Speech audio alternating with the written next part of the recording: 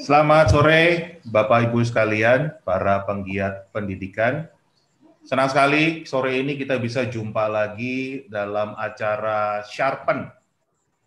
Sharpen itu adalah sharing para pendidik. Kali ini kita akan bertemu dengan para pendidik dari SMA Pangudiluhur Santo Yosef Surakarta, Solo, yang akan sharing dengan kita tentang kolaboratif learning yang dilakukan selama PJJ ini. Jadi nanti kita akan dengar kolaboratif learning itu seperti apa, yang tentunya pada dasarnya adalah bentuk kreatif, bentuk inovatif untuk mengisi pembelajaran jarak jauh dalam jaringan.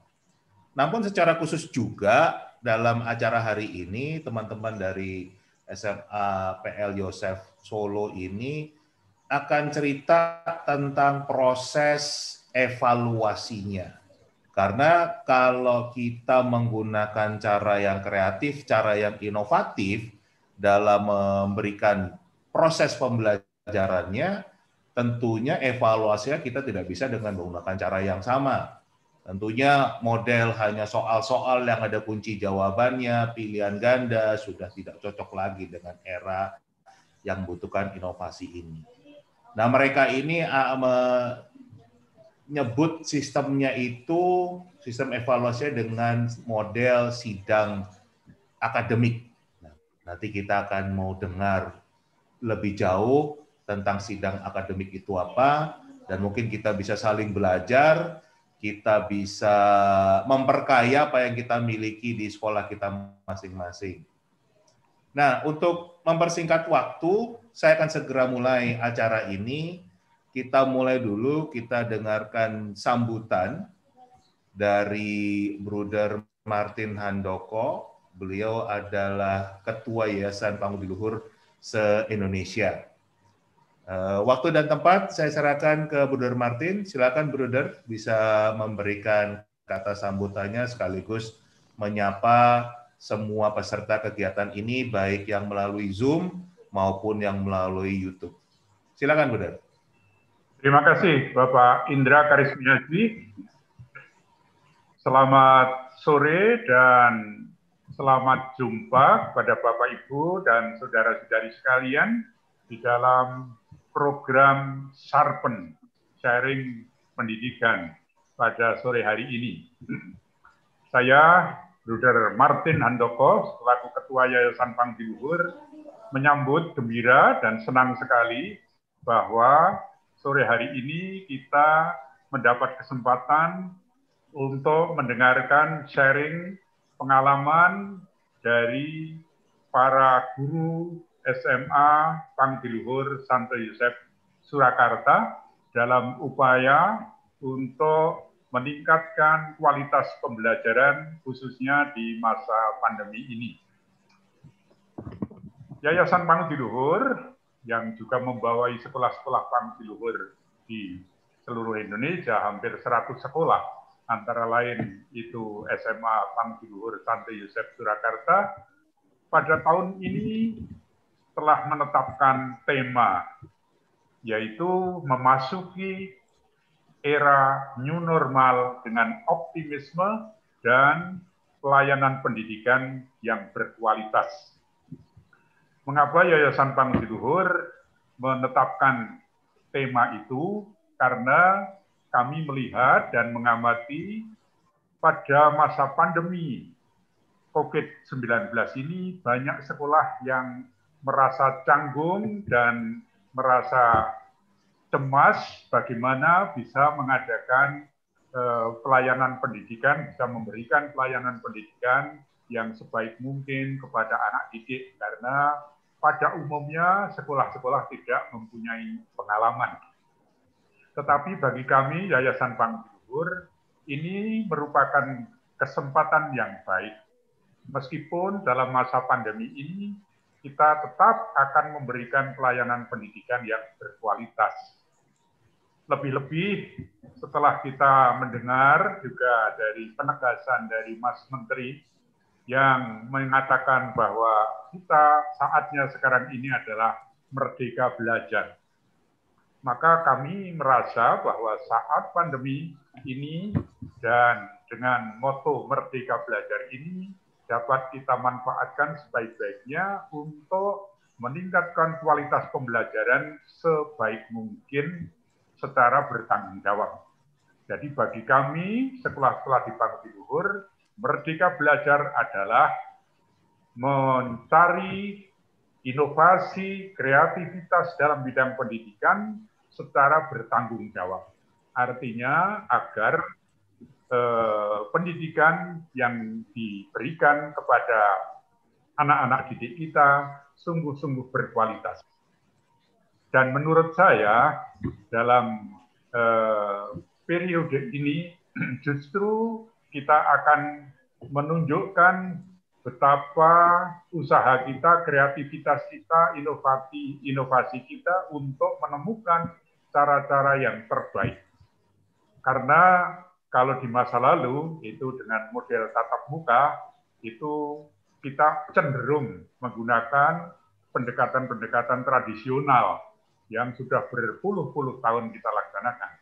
Tetapi dengan adanya pandemi ini, kita mau tidak mau tetap harus bertanggung jawab memberikan pelayanan pendidikan yang terbaik dengan metode-metode baru, pendekatan-pendekatan baru. Yang akan kita dengarkan dari sharing SMA Saint Joseph Solo ini adalah penggunaan collaborative learning dalam sidang akademik menggunakan pendekatan collaborative learning di dalam sidang akademik untuk proyek-proyek atau untuk topik-topik yang akan dibicarakan bersama. Ini adalah salah satu inisiatif atau ini, ini inovasi pendidikan yang ditemukan oleh teman-teman, yang dikembangkan oleh teman-teman dari SMA Saint Solo. Ya. Pada prinsipnya, ino, uh, collaborative learning ini adalah uh, suatu metode pembelajaran bersama-sama. Tidak hanya individual learning, tetapi metode pembelajaran yang saling uh, membantu, saling mencari bersama-sama sehingga kita bisa mendapatkan pengetahuan dan permasalahan secara bersama-sama. Dan ini adalah pendekatan yang menurut saya pendekatan yang sangat baik dikembangkan uh, untuk sekolah-sekolah kita.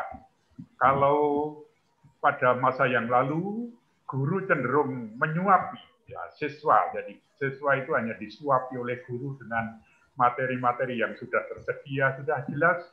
Sekarang anak-anak didik kita perlu kita latih untuk mencari sendiri permasalahan, menemukan eh, persoalan itu dan menemukan solusi permasalahan secara bersama-sama. Keuntungan dari collaborative learning itu banyak sekali. Antara lain bahwa kita bisa saling mengisi. Setiap orang mempunyai kelemahan dan kelebihan masing-masing. Tetapi dengan model collaborative learning, belajar bersama lebih dari satu orang, dua, tiga, empat orang dalam kelompok bisa saling membantu, saling mengisi kekurangan yang satu dengan kelebihan yang lain. Dan ini nanti akan diwujudkan di dalam juga pendekatan-pendekatan, misalnya pendekatan seperti yang diadakan di SMA Joseph Solo, itu pendekatan proyek atau project project based learning. Jadi eh, kita tidak menyoroti suatu permasalahan, suatu topik itu hanya dari satu sudut pandang dari bidang studi tertentu, tetapi dari berbagai bidang studi. Jadi di SD sebenarnya sudah dikembangkan dalam kurikulum 2013 itu yang disebut thematic learning. Jadi eh, suatu masalah atau suatu tema tertentu lalu dibahas dari berbagai sudut pandang bukan eh, secara individualistik tetapi secara bersama-sama sehingga murid bisa memiliki pandangan yang lengkap dari berbagai bidang ilmu, dari berbagai bidang studi untuk satu masalah tertentu. Jadi ini pendekatan yang sangat komprehensif, yang sangat multi kompleks, yang membuat pikiran para siswa, melatih pikiran para siswa itu terbuka secara lebar, secara luas, tidak hanya satu program atau satu bidang studi saja. Nah, di SMA Yosef Solo ini nanti eh, pembahasannya akan dilakukan di dalam sidang akademi. Sidang akademi biasanya itu dilakukan untuk membahas suatu masalah secara bersama, saling menilai, saling mengkritisi, saling mengevaluasi, dan akhirnya saling menemukan persoalan pemecahan bersama-sama. Saya kira ini suatu pendekatan yang amat baik untuk dikembangkan dan mudah-mudahan teman-teman yang eh, mengikuti sharing program sharing ini nanti dapat mendapatkan inspirasi dari pengalaman teman-teman di SMA Saint Joseph Solo ini. Jadi kita akan diperluas wawasan kita sehingga mudah-mudahan dengan uh, sharing pendidikan sore hari ini dari SMA Pangtidur Saint Joseph teman-teman di mana saja berada, baik yang mengikuti lewat YouTube maupun yang langsung mengikuti dalam program Zoom ini, nanti akan mendapatkan inspirasi untuk mengembangkan program pendidikan, penguatan uh, dalam bidang metodologi ataupun pendekatan-pendekatan pembelajaran yang ada di sekolah masing-masing.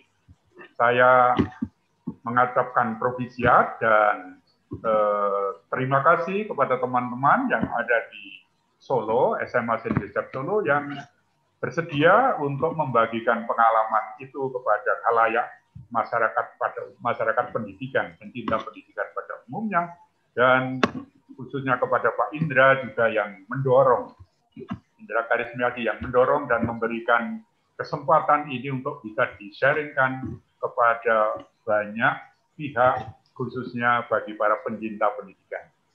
Kepada semuanya saja yang eh, berpartisipasi di dalam eh, program sharing pendidikan sore hari ini, entah yang lewat program Zoom atau lewat YouTube, saya ucapkan selamat untuk mengikuti eh, sharing pendidikan ini dengan sebaik-baiknya dan mudah-mudahan nanti bisa mendapat inspirasi yang banyak untuk dikembangkan di tempat masing-masing sesuai dengan kemungkinan yang ada di sekolah Bapak Ibu, saudara-saudari sekalian. Sekali lagi, selamat mengikuti secara aktif uh, sharing pendidikan ini dan terima kasih kepada semua pihak yang telah memfasilitasi terjadinya uh, program sharing pendidikan sore hari ini. Terima kasih dan selamat untuk secara aktif berpartisipasi dalam program. Terima kasih. Ya, terima kasih Budar Martin. Wah, luar biasa ini. Budar, ini hari ini kan ternyata harinya spesial nih, Dar. Ya. 10 10 20 20 kan. Oh, ya. Hanya enggak ya. enggak enggak ada lagi nih hari yang seperti ini kan gitu. Ya. Tetapi yang kita tahu nih benar tahun 2020 ini untuk Yayasan Pangudi Luhur ini juga tahun yang bersejarah. Betul. Karena ini adalah perayaan 100 tahun karya para bruder ini di Indonesia. Betul. Berarti kan untuk terjun di dunia pendidikan ini usianya sudah lebih tua daripada republik ini. Mungkin ya, bisa betul. bisa kasih cerita sedikit nggak tentang ya. tentang karya-karyanya Bruder, Yayasan PL itu sendiri bagaimana? Nah, saya ini kan kalau tadi Bruder bilang ikut membantu, saya juga belajarnya dari para Bruder FIC nih kan gitu, hmm. karena saya alumni PL. Jadi hmm. jadi sebetulnya kita belajar dari sumber yang sama. Tapi Bruder ya. silakan Bruder bisa diceritakan. Terima kasih Pak Indra.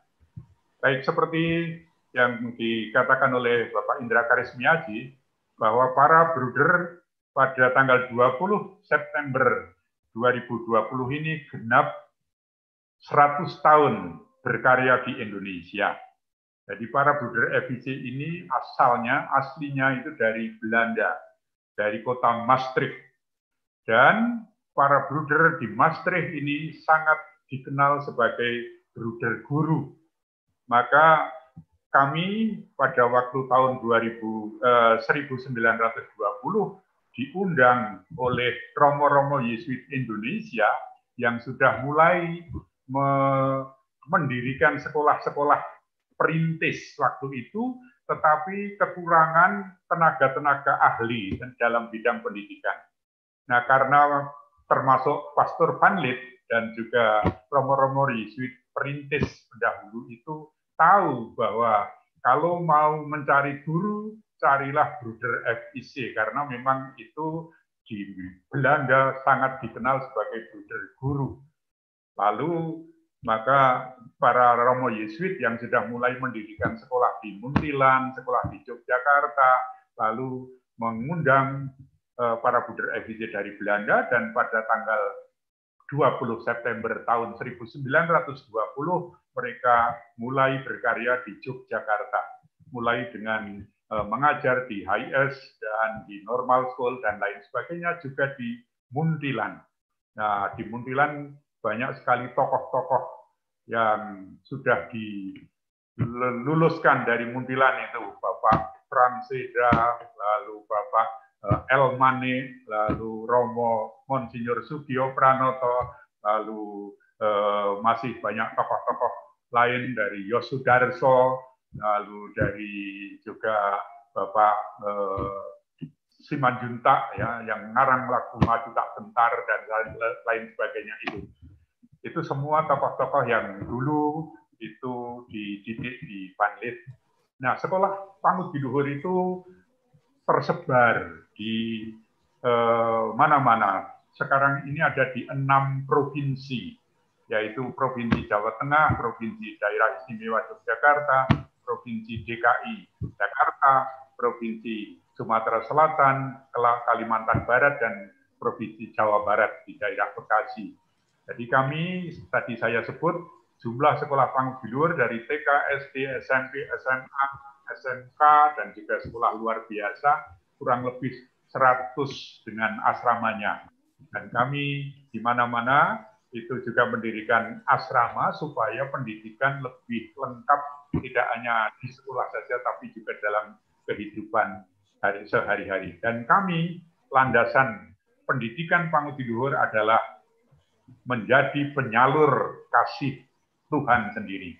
Oleh sebab itu pendidikan di Panguti Luhur selalu mengedepankan pendidikan yang penuh kasih sedapat mungkin kita usahakan supaya anak-anak tidak hanya menjadi orang pinter tetapi juga orang yang baik, orang yang bertanggung jawab, orang yang berintegritas. Itu saja Pak Indra untuk ya. sharing sebentar tentang Bruder FIC. Ya, wah terima kasih Bruder. Selamat ya Provisiat atas karyanya di Indonesia ini sudah 100 tahun ya. dan semoga semakin jaya, semakin berkembang terus dalam uh, mengembangkan khususnya dunia pendidikan di Indonesia. Terima kasih, Bu Terima kasih, Pak Indra. Selanjutnya kita mau dengar dari Kepala Sekolah SMA PL Santo Yosef nih dari uh, Bruder Steph. Bruder, bisa minta waktu sedikit uh, dibuka apa wawasan para peserta kegiatan hari ini nih. Mau kita mau belajar tentang apa nih dari SMA PL Santo Yosef Solo nih? Silakan Bu Steph. Terima kasih Pak Indra atas kesempatan kepada kami. Romo, Suster, Buder, Pak Indra, Pak Sanipar dari Epson Indonesia, dan saudari-saudara yang terkasih, selamat sore dan berkah dalam. Terima kasih saudari-saudari dan saudara telah menjadi bagian dari acara webinar SMA Pandulu Santo Yosef Surakarta dengan tema Sidang Akademik dalam Pembelajaran Kolaboratif. Sebelum pemaparan lebih jauh, tentang sidang akademik dalam pembelajaran kolaboratif, kami akan memberikan batasan masa sidang akademis dan pembelajaran kolaboratif.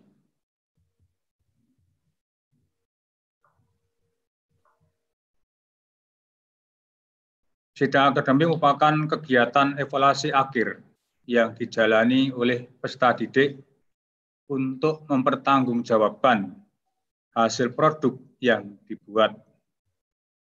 Sidang akademik untuk melatih dan menilai peserta didik dalam keberanian mengungkapkan pendapat, berpikir kritis, bekerja sama, kreatif, menyelesaikan masalah dan komprehensif. Yang saya sebut tadi itu keterampilan abad 21. Semuanya termaktub dalam kegiatan dan pelaksanaan sidang akademik. Pembelajaran kolaboratif merupakan model pembelajaran yang kami terapkan di SMA Pandulur Santul Sep Surakarta dengan cara mengelompokkan peserta didik supaya saling belajar dan kerjasama. Terus untuk kelas 10 masih dalam satu peminatan atau satu kelas. Kelas 11 sampai 12 sudah lintas peminatan. Untuk dapat memahami beberapa mata pelajaran yang memiliki kompetensi dasar yang sesuai setiap mata pelajaran. KD-KD setiap mata pelajaran dipetakan dalam hal ini yang kami padukan atau kolaborasikan tidak hanya peserta didik, namun tenaga pendidik dan KD, KD dari beberapa mata pelajaran. Jadi guru juga dikolaborasikan. Hasil akhir dari pemahaman KD yang harus dicapai oleh peserta didik dituangkan dalam bentuk produk. Pembatasan istilah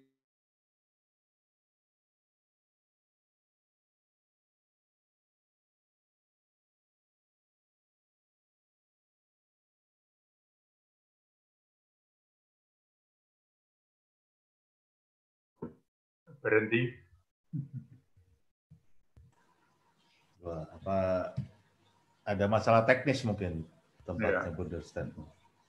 Ya inilah, mohon maaf uh, Bapak Ibu sekalian, kita kondisi menggunakan teknologi itu memang selalu akan ada uh, problem teknis.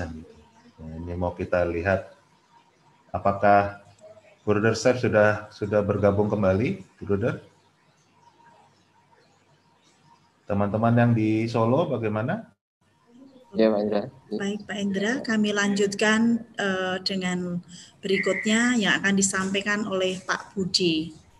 Oke, jadi Bapak Ibu sekalian, sekarang ini nanti kita minta Border Chef untuk untuk uh, bicara lagi. Sepertinya beliau ada kesulitan dengan jaringan. Kita akan langsung saja masuk ke penjelasan dari para guru di SMA PL Santo Yosef Surakarta.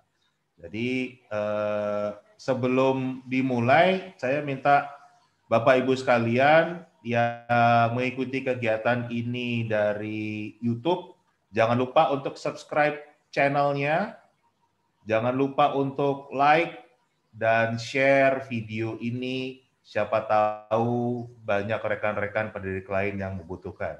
Oke, saya persilakan pada teman-teman pendidik dari SMA PL Yosef untuk memulai paparannya dan jangan lupa memperkenalkan diri dulu ya Bapak Ibu ya supaya eh, pesertanya juga kenal siapa yang bicara. Silakan. Terima kasih Pak Indra. Saya Pak Agustinus Budi Santoso, salah satu guru dari SMA Pangudidul Santoso. Pada kesempatan ini, kami ingin mengutarakan tentang latar belakang pembelajaran kolaboratif di SMA Pangudidul Santo Yosef Surakarta. Di situasi pandemi COVID-19, ini mengubah semua lini kehidupan termasuk pada bidang pendidikan. Mau tidak mau, setiap sekolah dan jenjang pendidikan harus mengubah cara pada saat semua peserta didik harus belajar dari rumah. Hal ini juga berdampak pada kami, Civitas SMA Paudus Santo Yosef Surakarta. Kepala sekolah, guru, dan karyawan harus segera bertindak, mengambil keputusan, menjalankan cara yang baru supaya kegiatan pembelajaran bagi para peserta didik tidak terputus belajar ke sana kemari, membuka mata dan telinga, berusaha mencari platform yang sesuai, dan juga kegiatan belajar yang bisa menjembatani antara guru dan peserta didik, sehingga proses belajar itu tetap dapat berjalan dengan baik dan lancar. Secara kebetulan, pada bulan November 2019, kami para guru karyawan se-Yayasan Pangdu Luhur Perwakilan Surakarta dipertemukan dengan Bapak Indra Karismaji dengan workshop berjudul Edukasi 4.0 menurut Sang Guru. Ternyata hubungan ini berlanjut secara personal, sehingga kami mendapatkan banyak masukan dan pengetahuan baru tentang Microsoft 365 dan model pembelajaran project based learning. Pada bulan Maret 2020, pada tahun pelajaran 2019-2020, itulah kami melakukan PJJ dengan menggunakan Microsoft 365. Periode pembelajaran jauh, jarak jauh mulai bulan Maret sampai Juni 2020 membuat kami banyak belajar. Angket disebarkan pada peserta didik untuk mendapatkan masukan. Keluhan akan banyaknya tugas, juga perkembangan akan tuntutan dunia era 4.0 pada kompetensi yang harus dimiliki yaitu kreativitas, kolaborasi, komunikasi, kasih sayang, berpikir kritis, dan logika komputasi mendasari munculnya pembelajaran kolaboratif ini. Menurut kami, pembelajaran kolaboratif adalah pembelajaran dengan memadukan beberapa mata pelajaran yang memiliki kompetisi dasar yang sesuai untuk menghasilkan satu proyek akhir sebagai perwujudan pemahaman siswa secara komprehensif terhadap mata pelajaran yang dipelajari. Cara pembelajaran inilah yang kami lakukan hingga saat ini. Hal lain yang menjadi poin penting dalam proses pembelajaran kolaboratif ini adalah proses evaluasi yang menggunakan sidang akademik. Berikutnya akan dijelaskan tentang proses pelaksanaan pembelajaran kolaboratif. Pak Tri, dipersilahkan.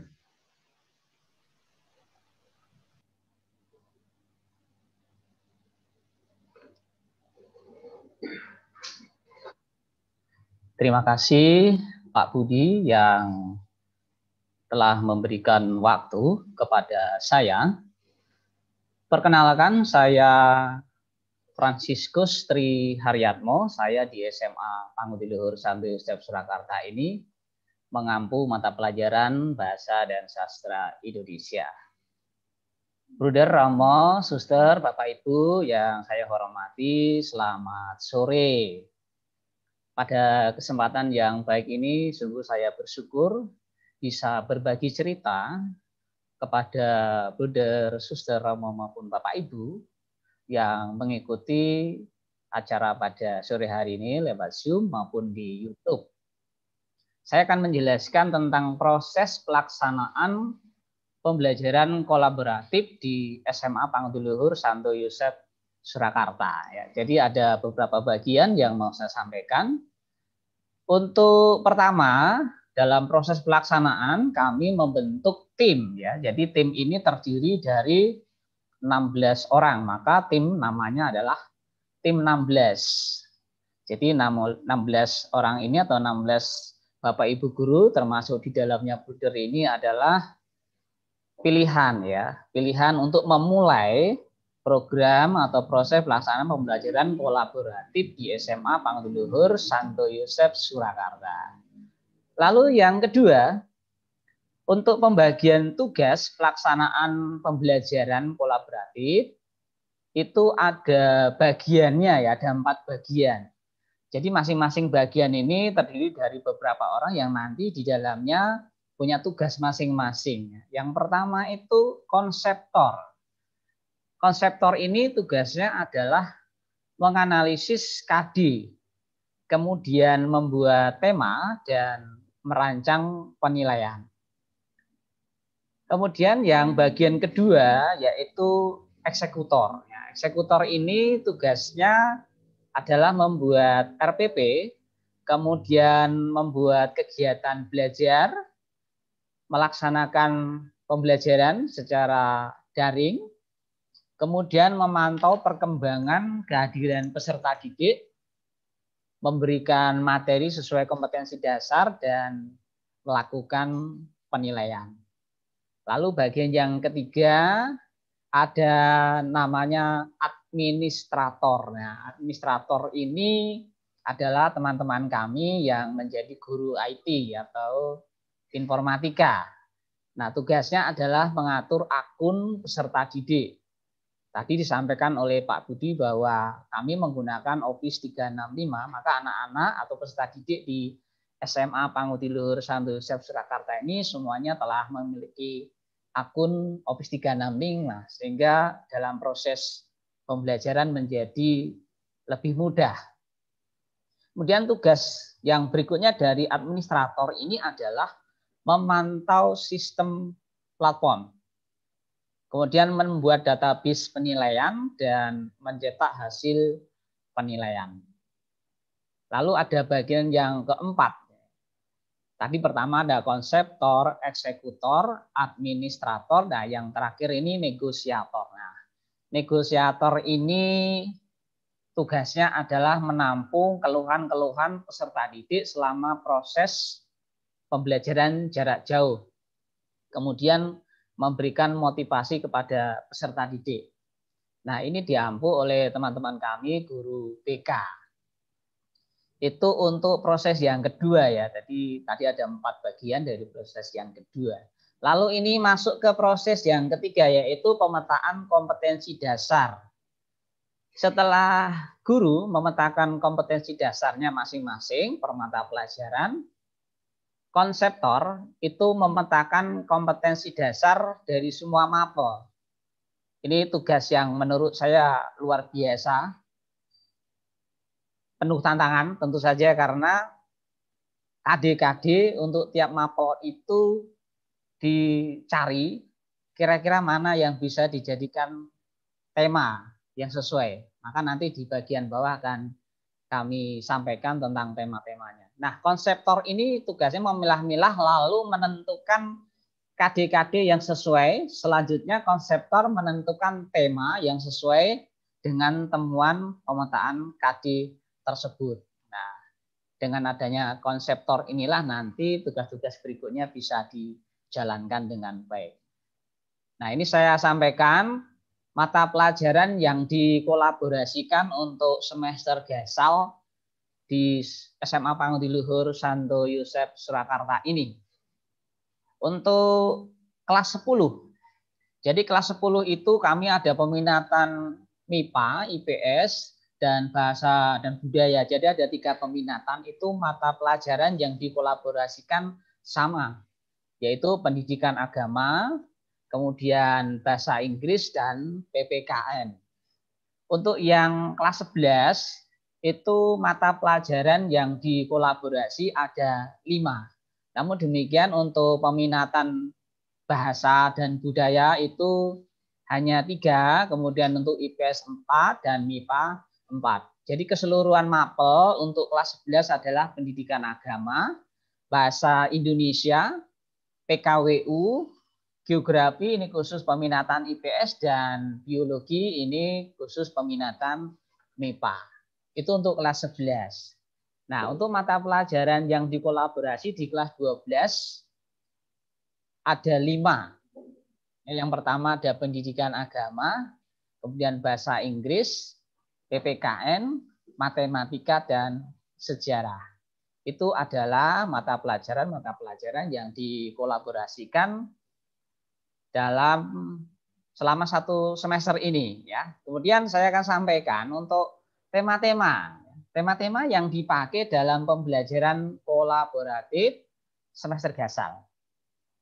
Ada dua tema yang kami gunakan selama semester gasal ini dan kami telah melampaui satu tema. Dan pada hari ini kami menyampaikan sharing kepada Bunda Romo, Suster dan Bapak Ibu semua untuk tema hasil tema pertama. Ya. Jadi untuk kelas 10, tema pertama adalah jati diri Nanti di tema kedua adalah adaptasi kebiasaan baru.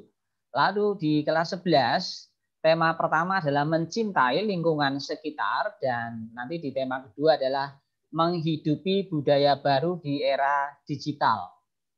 Kelas 12, tema pertama adalah panggilan hidup dan di tema kedua nanti menuju era industri 5.0. Jadi tema-tema yang kami buat ini diusahakan sejalan dengan kondisi saat ini ya, terutama kondisi kemajuan teknologi dan juga kondisi peserta didik yang dekat dengan teknologi. Saya akan sampaikan untuk poin kelima yaitu pembuatan RPP dan kegiatan pembelajaran kolaboratif. Setelah kompetensi dasar kolaborasi dipetakan, maka guru mapel yang dikolaborasikan akan membuat RPP kolaborasi dan kegiatan pembelajaran kolaboratif. Lalu bagaimana dengan kegiatan pembelajaran kolaboratif? Nah, seperti ini. Kegiatan pembelajaran kolaboratif merupakan urutan langkah-langkah kegiatan yang akan dilaksanakan pada saat guru mapel itu berada di kelas penguatan Nah, untuk urutan langkah-langkah kegiatan pembelajaran kolaboratif itu poin yang pertama adalah pembuatan narasi. Nah, pembuatan narasi ini guru mapel yang berkolaborasi membuat sebuah narasi sesuai dengan tema yang sudah ditentukan. Kemudian narasi ini berupa rangkaian cerita yang memuat KD mata pelajaran yang dikolaborasikan. Jadi tujuan pemberian narasi ini adalah membawa peserta didik memahami KD yang akan dicapai secara komprehensif. Nah, untuk dipahami bahwa narasi ini adalah sebuah cerita yang kami bentuk, kami buat untuk mengarahkan anak memahami bahwa KD-KD mapel-mapel yang dikolaborasi ini bisa dipahami dengan mudah. Nah, lalu setelah pembuatan narasi, saatnya adalah literasi. Nah, di literasi ini peserta didik bersama dengan guru mapel mendalami narasi di dalam jam penguatan mapel masing-masing. Lalu setelah literasi, anak-anak atau peserta didik diminta untuk membuat resume berdasarkan narasi yang sudah dibuat di jam penguatan guru mapel masing-masing. Itu poin yang keenam. Lalu ini poin yang ketujuh, yaitu penentuan produk. Nah, setelah anak melewati proses narasi, literasi, dan membuat rangkuman dari proses membaca materi-materi yang berhubungan dengan kadik-kadik setiap mapel, maka saatnya mereka itu menentukan produk. Produk apa yang akan digunakan mereka untuk menggabung dari KD-KD yang sudah ditentukan dalam narasi. Nah, yang pertama, poin pertama dari penentuan produk itu adalah Produk ini dimaksudkan hasil akhir dari pembelajaran kolaboratif yang dituangkan dalam bentuk bisa cerpen, bisa makalah, iklan, vlog, podcast, film pendek, dan komik. Nah, itu bentuk produknya. Lalu dalam pembuatan produk ini peserta didik dikelompokkan berdasarkan kelas. Untuk kelas 10 itu sama namun untuk kelas 11 dan 12 mereka kelompoknya lintas. Bisa dengan kelas yang lain. Nah, artinya di sini peserta didik bisa berlatih untuk bekerja sama. Isi dari produk tersebut adalah hasil pemahaman peserta didik terhadap materi yang telah dipelajari di kelas waktu penguatan dengan guru mata pelajaran. Nah, kemudian dikolaborasikan dalam satu narasi baru sesuai dengan tema di setiap jenjang. Kemudian dalam setiap produk ada guru pendamping produk yang akan mengarahkan peserta didik pada teknis pembuatan produk. Jadi di sini sebelum produk itu dibuat oleh anak-anak, mereka bertemu dengan guru mapel. Setelah selesai bertemu dengan guru mapel untuk memperkuat materi masing-masing kadi di tiap mapel, maka mereka akan bertemu dengan guru baru. Guru baru ini adalah guru pendamping produk. Guru pendamping produk ini adalah tugasnya adalah mendampingi anak-anak untuk membuat produk itu sendiri. Dari cerpen, makalah, iklan, vlog, podcast, film pendek, dan komik. Nah, itu yang bisa saya sampaikan untuk bagian saya pada hari ini. Terima kasih untuk perhatian semuanya saja dan untuk berikutnya itu ada penjelasan tentang produk hasil pembelajaran kolaboratif. Ya, produknya seperti apa nanti akan disampaikan oleh teman kami yaitu Bapak Cahya Setiawan. Silakan Pak Cahya Setiawan. Baik, terima kasih Pak Tri. Selamat sore. Romo, Buddha, Suster, Pak Indra, Pak Sianipa, dan Bapak Ibu sekalian. Ya, perkenalkan, nama saya Robertus Cahaya Setiawan. Pada saat kali ini saya mewakili uh, para guru pendamping produk di SMA PL 1 Yosep yang mendampingi anak-anak untuk menyelesaikan produk mereka dalam kelas kolaboratif. Berikut kami sampaikan eh, produk-produk hasil pembelajaran kolaboratif dari anak didik kami. Untuk produk seperti yang tadi disampaikan oleh Pak Tri, kami memberikan tujuh pilihan kepada peserta didik, yaitu cerpen, makalah, iklan, vlog, podcast, film pendek, dan komik. Kemudian pada prosesnya mereka memilih sesuai dengan minat mereka masing-masing. Untuk produk yang akan kami tampilkan sebagai contoh, tidak bisa semuanya. Kami eh, tampilkan beberapa hasil produk saja. Eh, mewakili eh, anak didik kami dari kelas 10, 11, dan 12. Baik, yang pertama ini adalah produk komik mewakili dari kelas 10 tema yang diangkat dari produk ini adalah jati diri. Untuk komik kelas 10 ini terdiri dari empat peserta didik, semuanya dari kelas peminatan IPA. Komik ini menjadi yang terbaik dikarenakan secara tema mereka bisa mengkolaborasikan dengan baik tiga mapel, yaitu PKN, Bahasa Inggris, dan Pendidikan Agama, bercerita tentang perjalanan di Bali, bertemu dengan pembantu wisata di sana, dan ada juga dialog dalam bahasa Inggris dalam komik ini. Yang menarik juga dari kelas 10, mereka selama ini belum pernah mengalami tatap muka, jadi belum pernah bertemu satu dengan yang lain, dan segala koordinasi dilaksanakan secara virtual. Jadi kami bersyukur sejak tahun kemarin kami sudah bisa berproses dengan Office 365, maka sangat membantu kerja anak didik kami dalam berkolaborasi. Bisa Bapak Ibu saksikan di slide. Jadi ini contoh komik dari kelas 10.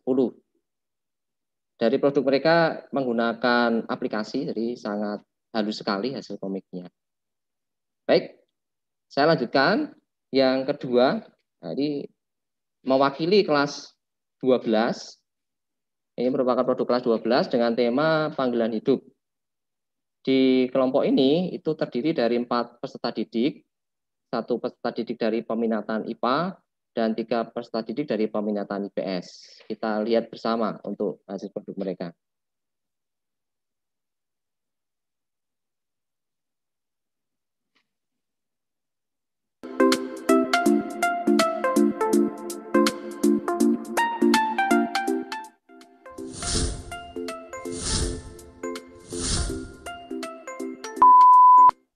Hai semua, perkenalkan, aku Dian Maharani dari 12 MIPA 3 Presensi 4. Aku Clement Serangga dari kelas 12 IPS 2 Presensi 7. Aku Kara Alvina Sari dari 12 IPS 1 Presensi 7. Aku Abraham Vincent dari 12 IPS 3 Presensi 2. Jadi gini nih, kemarin tanggal 13 September 2020 aku pergi ke gereja Simo di Boyolali dan di sana aku melaksanakan bakti sosial bersama YSKS.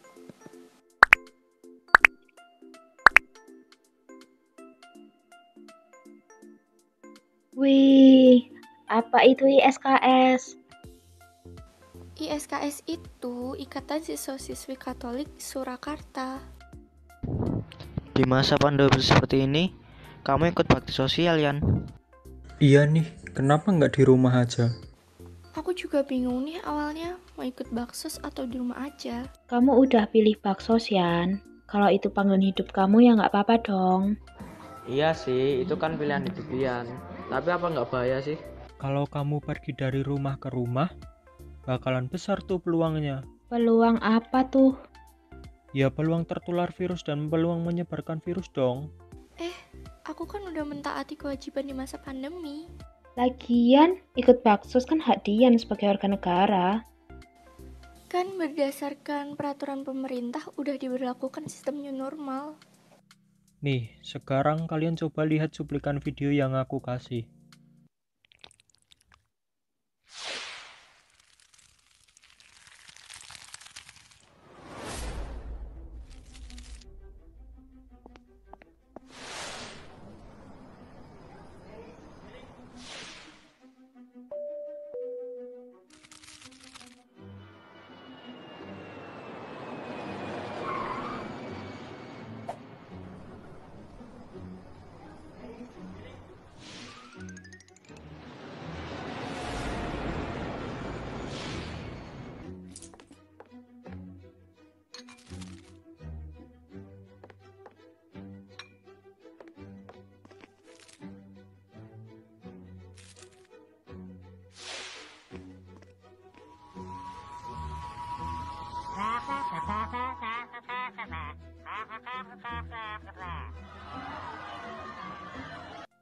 Serem kan?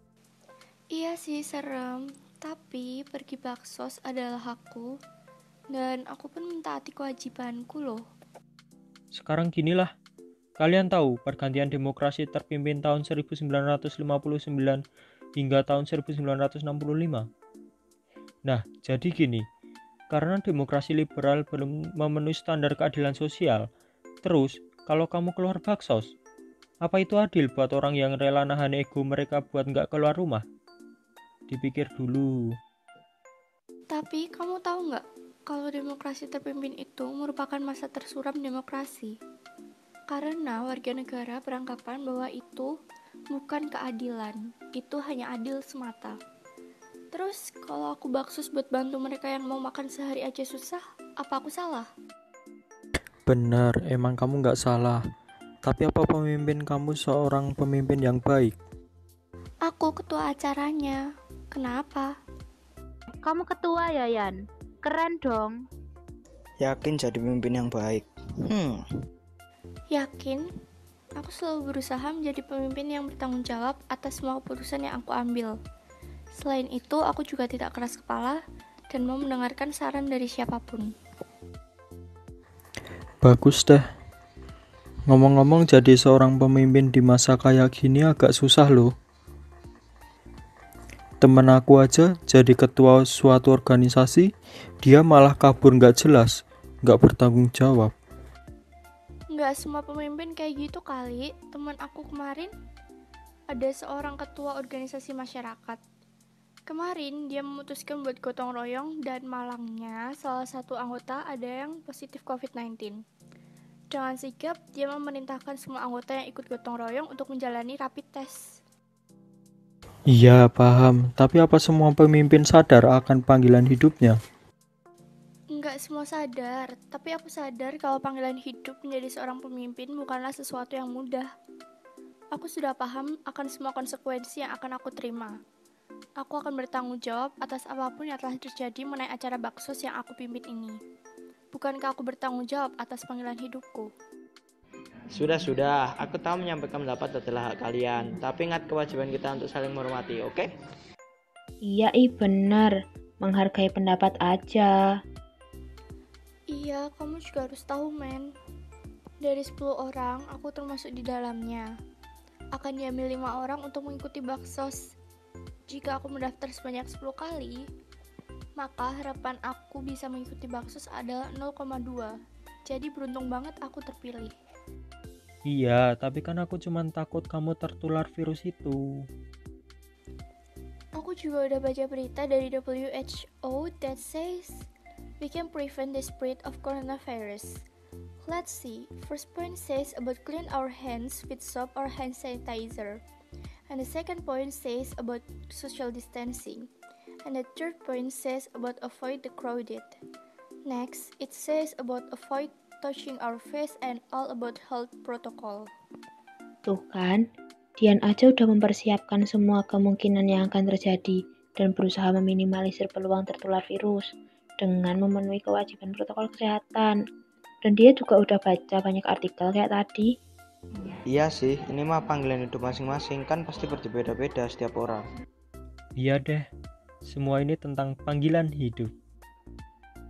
Jadi itu tadi adalah persembahan podcast dari kelompok 28. Semoga podcast kali ini membawa manfaat bagi kalian. Semoga podcast ini sedikit menghibur dan menambah wawasan kalian. Terima kasih. Ini adalah contoh dari produk anak didik kami kelas 12. Jadi mereka mampu mengkolaborasikan lima mapel, yaitu PKN, Bahasa Inggris, Sejarah, Pendidikan Agama, dan Matematika dengan sangat-sangat baik dan saling berkaitan. Maka ini tadi juga viewernya uh, sangat banyak sekali, ada 994 view yang mereka dapat. Kemudian untuk contoh yang ketiga, ini mewakili produk kelas 11, yaitu iklan. Tema yang diambil untuk kelas 11 adalah mencintai lingkungan sekitar. Kemudian iklan yang mereka pilih merupakan iklan layanan masyarakat. Mari kita bisa lihat bersama contohnya.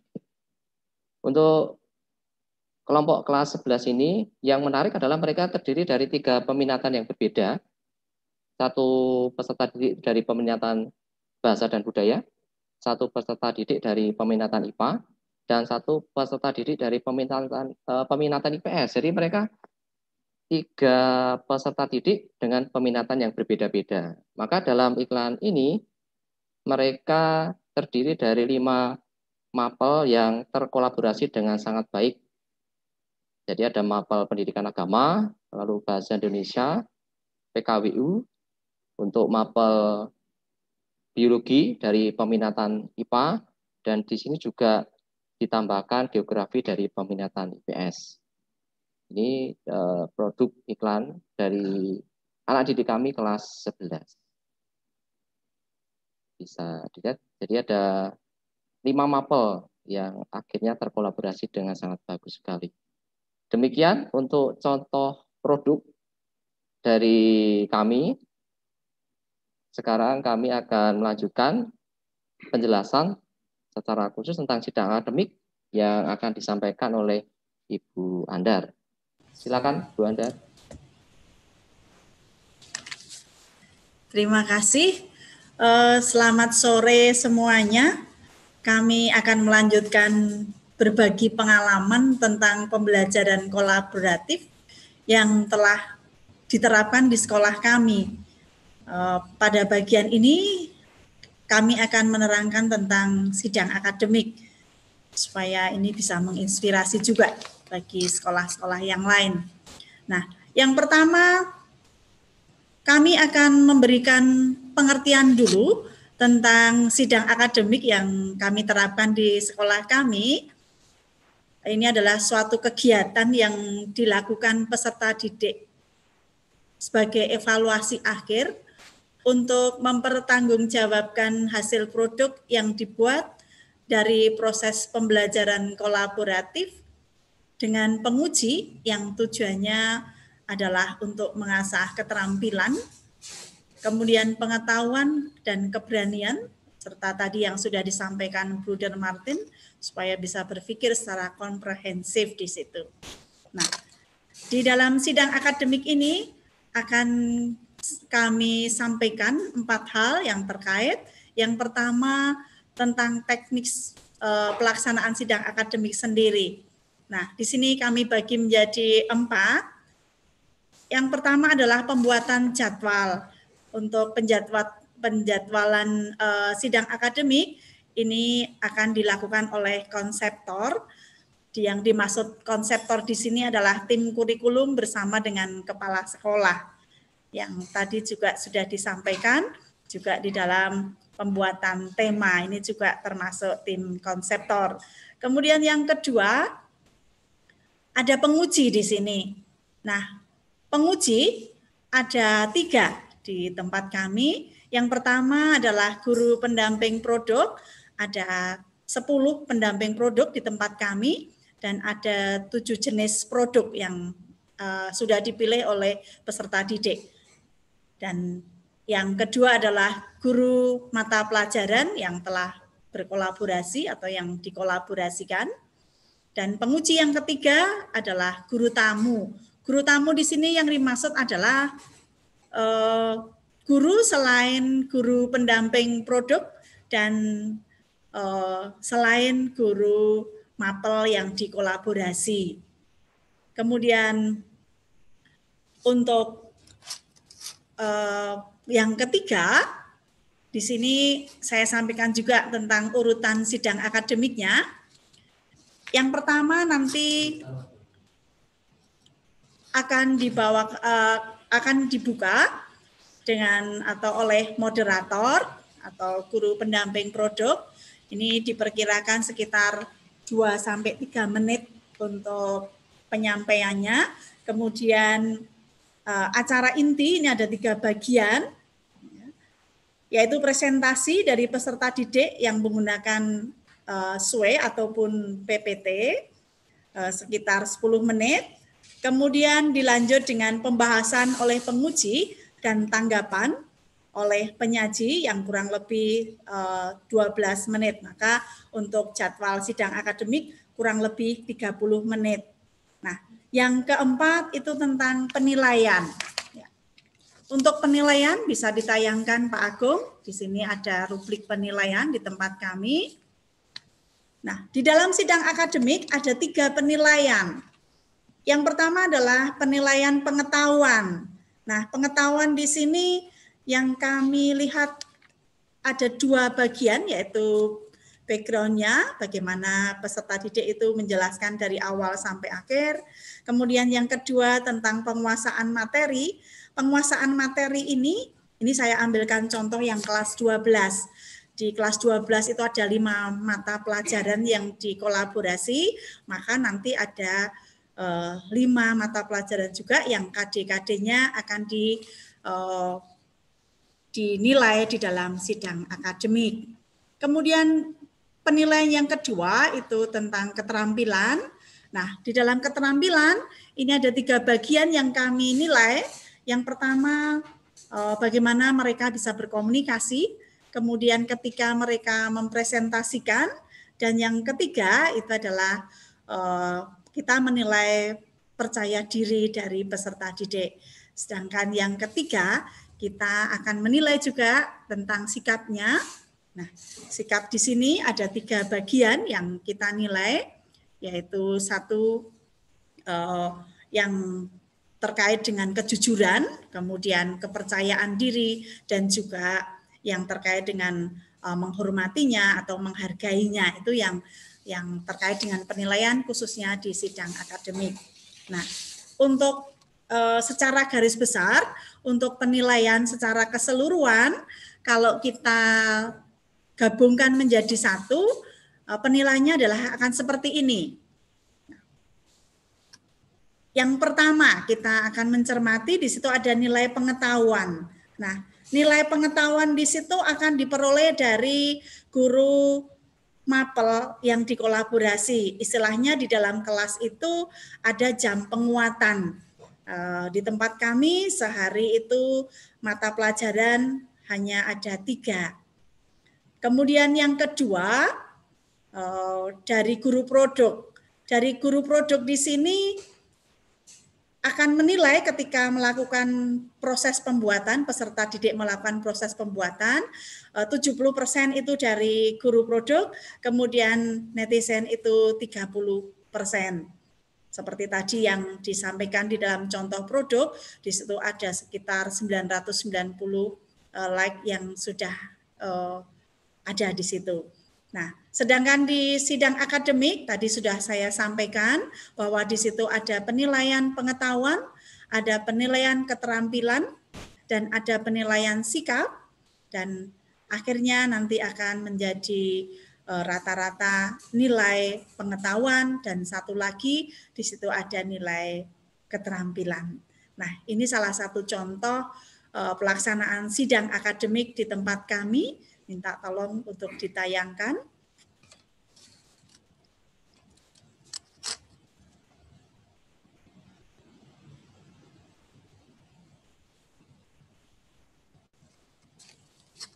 Oke, uh, terima kasih untuk anggota podcast 28. Pagi ini kita bergabung dalam sidang akademik untuk mempertanggungjawabkan hasil dari kelompokmu ya, kelompok podcast 28. Ya, perkenalkan dulu. Kelompok kami ada kelas Yang pertama ada agama, materi yang terpakai, panggilan hidup, penerapan yang kedua, materi yang terpakai uh, yaitu adalah sejarah dengan demokrasi terpimpin. Contoh pemimpin yang baik. Selanjutnya, materi PKN yang kepakai itu hak dan kewajiban warga negara Indonesia. Lalu selanjutnya bahasa Inggris materi yang terpakai yaitu news item. Yang terakhir ada matematika. Materi yang terpakai frekuensi harapan. Saya akan mulai dari Bu Reni dulu untuk memberikan pertanyaan. Silahkan Bu Reni. Terima kasih Miss Neni. Selamat pagi semuanya. Pagi. Saya ingin bertanya uh, yang berkaitan dengan pelajaran sejarah. Nah, kalau bakti sosial yang kalian ambil ini temanya, nah kaitannya dengan demokrasi terpimpin itu apa? Eh, menurutku itu uh, melakukan hal yang kita inginkan tanpa adanya paksaan dari pihak lain. Selain itu juga kita juga uh, menampilkan sebagai sosok figur pemimpin yang baik Ini, dan juga... eh semuanya itu tuh berarti kan harus terkait sama pemerintah kan Bu apa-apa ya. pemerintah terus kalau di uh, kalau menurutmu ketika kamu harus mempertanggungjawabkannya di sidang akademik ini, apa pendapatmu? Perlu buat dipertanggungjawabkan gitu loh, Bu. Hmm, kenapa? Karena kan itu kita yang buat. Jadi hmm. kita tahu ini tuh udah termasuk dalam uh, produk belum, udah kadik-kadiknya udah masuk belum. Terus hmm. kalau tinggal nanti guru-guru ngasih saran, terus nanti kita perbaiki buat di podcast kedua gitu, Bu. Menurutku juga penting, Bu Oh, penting. Karena uh, karena podcast ini yang buat kita sendiri. Kalau kita mm-hmm. nggak mempertanggungjawabin apa yang Oke, okay. uh, eh, terima kasih untuk anggota podcast 28. Pagi ini kita bergabung dalam sidang akademik untuk Uh, ini tadi salah satu contoh uh, sidang akademik yang sudah kami lakukan. Kami melakukan selama tiga hari untuk sidang ini, baik kelas 10, 11 maupun 12. Uh, demikian berbagi pengalaman kami yang terkait dengan sidang akademik. Untuk selanjutnya, Eh, berbagi pengalaman akan dilanjutkan oleh guru PK yaitu Pak Pur di mana di, di sini beliau sebagai tim negosiator. Silakan Pak Pur. Terima kasih Bu Andar. Selamat sore Romo, Bruder, Suster, para Bapak Ibu, Pak Indra, dan Pak Sanipar. Salam sehat dan bahagia. Jangan lupa tersenyum. Perkenalkan, saya F. Rafael Purwanto. saya sebagai guru BK dan seperti yang disampaikan di awal, kami sebagai tim negosiator bersama dua rekan saya, Bu Agustin dan Bu Asti. Adapun tugas kami adalah menampung masukan dan keluhan dari peserta didik dan juga orang tua selama mengikuti pembelajaran kolaboratif. Tentunya tidak hanya sekedar menampung saja, tetapi memberikan solusi yang terbaik dan selalu memotivasi mereka. Kami juga menjembatani permasalahan-permasalahan yang muncul. Misalnya saja terjadi miskomunikasi antara guru mapel dengan peserta didik atau antar peserta didik sendiri. Secara singkat, kami akan merangkum permasalahan yang terjadi di sekolah kami di SMA Pangudulur Santo Yosep. Yang pertama, ada keluhan sulitnya teman diajak bekerja sama dalam kelompok produk. Padahal mereka tidak memungkinkan untuk bertemu secara langsung. Yang kedua, keinginan untuk pindah pilihan produk atau kelompok dengan alasan tidak saling mengenal karena mereka berbeda peminatan. Ada yang dari IPA, IPS, dan bahasa. Yang ketiga, diskusi-diskusi dalam penyelesaian produk kadang-kadang tidak nyambung antara teman yang satu dengan yang lain. Kemudian yang keempat, kesulitan untuk mengaitkan mapel yang satu dengan mapel yang lain sehingga terbentuk kesinambungan yang dikemas dalam produk. Jadi eh, peserta didik itu sulit untuk menghubung-hubungkan antara mapel agama, PKN, dan bahasa Inggris. Itu permasalahan yang terjadi di sekolah kami. Namun demikian, kami sungguh-sungguh mengapresiasi semangat dan daya juang anak-anak Yosef. Apa pun itu hasilnya. Memang tidak mudah untuk menyelesaikan suatu proyek atau produk secara bersama-sama dalam kelompok di saat situasi seperti ini. Namun demikian, dari proses yang mereka jalani, ternyata membuahkan nilai-nilai kehidupan yang bisa diambil, yaitu semangat kerjasama, semangat daya juang, semangat untuk berkreasi atau berinovasi, kemandirian, dan semangat untuk menanggalkan egoisme diri. Inilah yang akan selalu dibawa terus dalam hidup. Sekali lagi, profesiat untuk anak-anak Yosef, semangat terus. Di panser hati, hidup Sen Yosef. Demikian yang bisa kami sampaikan. Untuk waktu selanjutnya, saya berikan kepada Pak Indra. Silakan Pak Indra. Wah, luar biasa sekali ini sharingnya ya. Tadi saya tertarik banget itu dengan sidang akademiknya. Eh, pertanyaan-pertanyaannya itu betul-betul yang disebut dengan pertanyaan HOTS ya, higher order thinking skills. Jadi eh, bukan hafalan, bukan ada kunci jawabannya, tetapi melihat dari apa yang di eh, dari dalam diri para peserta didik sendiri. Nah, saya mungkin bertanya dulu nih ke Bapak Ibu sekalian nih. Tantangan yang paling berat dari semuanya di sisi apanya nih Bapak Ibu sekalian? Boleh sharing nggak?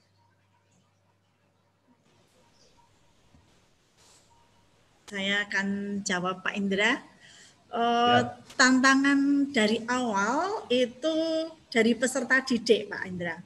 Okay. Karena begini, pada awalnya kan ini mengubah yang semula sudah istilahnya kebiasaannya sudah ada seperti itu, kemudian mereka harus diubah dengan cara yang berbeda.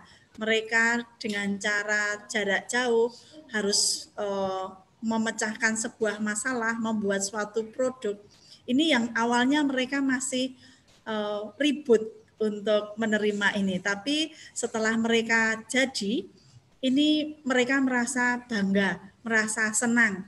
Uh, mereka terheran-heran sendiri dengan dirinya sendiri ternyata bisa dengan situasi seperti ini, dengan kondisi seperti ini bisa menghasilkan produk yang luar biasa. Itu yang tantangan yang paling besar kami hadapi hanya di awal, Pak Indra. Kalau sekarang sudah sudah lancar ya? Iya. Eh, karena sudah sudah terbiasa ya. Kalau sekarang berarti sudah masuk ke tema dua ya Bu ya? Ini hari Senin nanti baru masuk tema kedua Pak Indra. Hari Senin ya. besok itu baru masuk tema kedua. Ya, oke. Okay. Terima kasih sharingnya. Nah nanti kita akan lanjutkan dengan sesi diskusi, sesi tanya jawab. Jadi saya akan memberikan kesempatan kepada Bapak Ibu sekalian yang mengikuti kegiatan ini dari YouTube bisa menuliskan pertanyaannya di kolom chat di YouTube live streaming, di YouTube live chat. Nanti akan saya bacakan dan akan dijawab oleh teman-teman dari SMA PL Joseph Solo ini. Yang dari Zoom pun juga begitu. Saya akan beri kesempatan untuk bertanya atau berdiskusi. Nah, tapi sebelum kita ke sana, kita akan mendengarkan dulu sharing dari Epson. Epson ini selalu dengan setia mendampingi kami untuk mengadakan webinar-webinar yang eh, sangat mendukung bagaimana pengembangan pendidikan di Indonesia. Nah, untuk itu saya akan berikan kesempatan pada Pak Zanipar untuk bisa sharing uh, materi-materinya dari Epson. Silakan Pak Zanipar, waktu dan tempat saya persilakan. Ya, terima kasih Pak Indra. Selamat sore. Saya share materi presentasi saya Pak ya.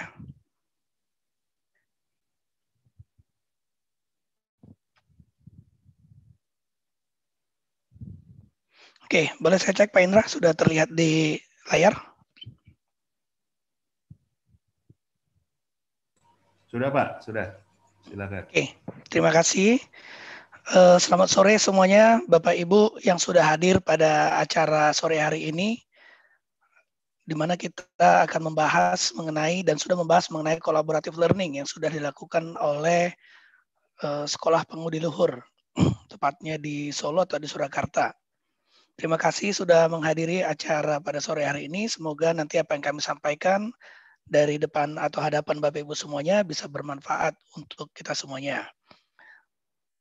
Eh, sebelumnya saya mengucapkan terima kasih kepada eh, Fox Point Indonesia dan juga Pak Indra yang sudah selalu bekerja sama dengan Epson untuk mengadakan webinar-webinar yang bermanfaat untuk dunia pendidikan kita kemudian juga kepada Yayasan Pengudi Luhur, yaitu kepada Brother Martin sebagai Ketua Yayasan Pengudi Luhur Pusat. Terima kasih atas kesempatan dan waktunya pada sore hari ini, serta juga kepada Brother Stefanus yang juga sudah sangat sering mengikuti webinar-webinar yang sudah kami lakukan sebelumnya dengan Pak Indra, dan juga kepada Bapak Ibu Guru dari Sekolah Pengudi Luhur yang sudah memberikan inspirasi yang menarik pada sore hari ini.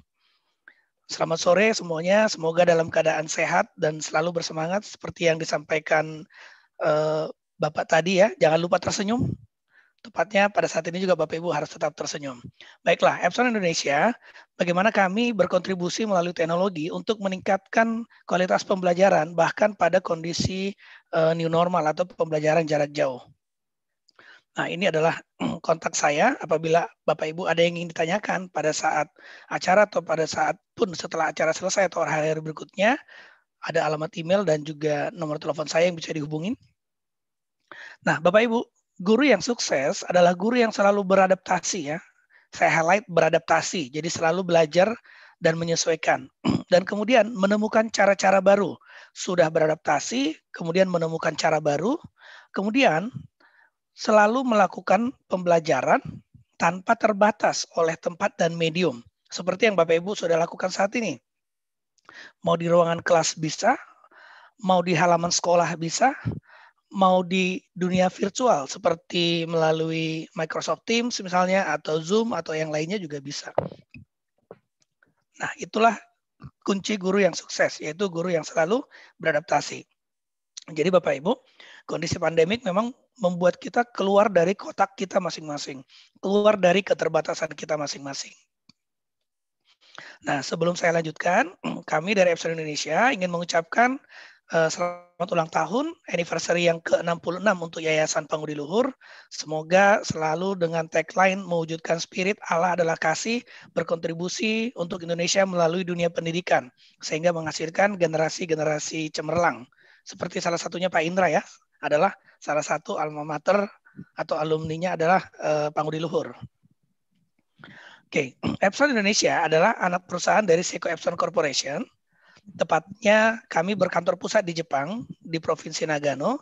Kemudian di Indonesia kami berkarya sudah 20 tahun dan berkantor pusat di Jakarta Selatan, tepatnya di gedung Cibis 9 kami memiliki banyak solusi termasuk di dunia pendidikan. Itu sebabnya kami juga membawakan satu topik pada sore hari ini yaitu Bring Learning to Life di mana ada kolaboratif interaktif distance learning, kemudian ada printing solution yang eco-friendly, kemudian ada creative educational material printing solution, kemudian solusi cetak yang efisien, kemudian factory automation atau robot automation juga, bahkan juga teknologi yang terkini seperti contohnya augmented reality.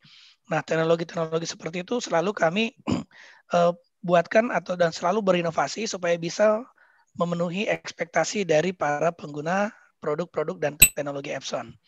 Nah, Bapak Ibu, feedback Bapak Ibu pada sore hari ini yang join dari Zoom atau yang join juga dari YouTube sangat bermanfaat. Silahkan sampaikan feedbacknya melalui link yang ada di uh, chat YouTube dan juga link yang ada di sini. Bagi yang beruntung akan mendapatkan satu buah produk Epson seperti yang tertampil pada gambar. Nah, bagaimana kondisi pendidikan saat ini Bapak Ibu? Tidak bisa dipungkiri bahwasanya sudah beberapa bulan kita memasuki uh, dunia baru di dunia pendidikan. Salah satunya ya, di mana Bapak Ibu harus mengajar secara online ataupun secara offline tapi bukan di ruangan kelas dan menggunakan banyak tools-tools yang baru. Nah, di bulan Oktober ini sekolah-sekolah itu sudah mempromosikan ya sudah mempromosikan sekolah uh, sekolah masing-masing supaya anak didik mendaftar dan salah satu yang paling ditonjolkan saat ini adalah bagaimana metode pembelajaran secara distance learning atau secara online dilakukan. Nah, itulah yang akan menjadi kunci keberhasilan dari sekolah untuk mencetak atau menghasilkan generasi anak didik yang cemerlang. Nah, setelah melakukan berbagai webinar selama enam bulan terakhir, kami melakukan survei dan menemukan bahwasanya 97% sebenarnya sekolah itu pada saat uh, distance learning dimulai belum ready, belum memiliki sistem. Sehingga di bulan Maret mendadak sekolah semuanya harus ber, uh, berinovasi, menerapkan cara-cara baru. Dan salah satu sekolah yang sukses tentunya tadi dari uh, Pangudi Luhur yang sudah menerapkan collaborative learning untuk melakukan uh, distance learning kepada anak didik semuanya. Kemudian masalah apa sebenarnya yang dihadapin? Yang paling besar 31% itu adalah konsentrasi anak didik tidak bisa terpusat karena e, guru tidak duduk bareng dengan siswa. Mereka berada di lokasi yang berbeda-beda. Kemudian ada juga masalah teknologi. Bukan gurunya tidak mengerti teknologi, tapi sekelompok teknologi itu datang tiba-tiba ke hadapan para bapak ibu guru. Nah, akhirnya Bapak Ibu guru harus memprioritaskan mana dulu nih yang harus dikuasai, mana dulu yang harus bisa digunakan. Tentunya beberapa item tersebut tidak bisa langsung dikuasai dalam waktu yang singkat. Sehingga beberapa hal yang memang harus kita consider atau pertimbangkan pada pendidikan new normal itu adalah pertama physical space, yaitu uh, penerapan virtual classroom pada saat ini tentunya sudah dimulai, kemudian blended classroom, kemudian flip learning, collaborative learning, integrated learning, kemudian yang kedua adalah motivasi anak didik sekarang berubah. Ya, karena cara belajar sudah berbeda. Mereka memiliki kebiasaan-kebiasaan baru. Bahkan kalau misalnya di Zoom ada yang menutup gambarnya supaya tidak terlihat. Ada yang menulis-nulis layarnya pada saat guru mengajar. Nah, itu butuh kesabaran guru untuk menghadapi situasi-situasi seperti itu. Cara berinteraksinya juga sudah berbeda. Sehingga mereka membutuhkan cara-cara pembelajaran yang baru. Kemudian, yang paling penting Bapak Ibu, yang nomor tiga adalah dibutuhkan kolaborasi antara anak didik, eh sorry, antara orang tua dari anak didik dengan sekolah. Supaya pendidikan yang uh, baru ini atau pada saat distance learning ini bisa dilakukan dengan baik. Karena kalau tidak ada kerjasama dari orang tua, maka guru juga akan kesulitan tentunya. Nah, sehingga pembelajaran atau kegiatan pembelajaran jarak jauh atau distance learning yang dilakukan di sekolah itu harus berbasis siswa.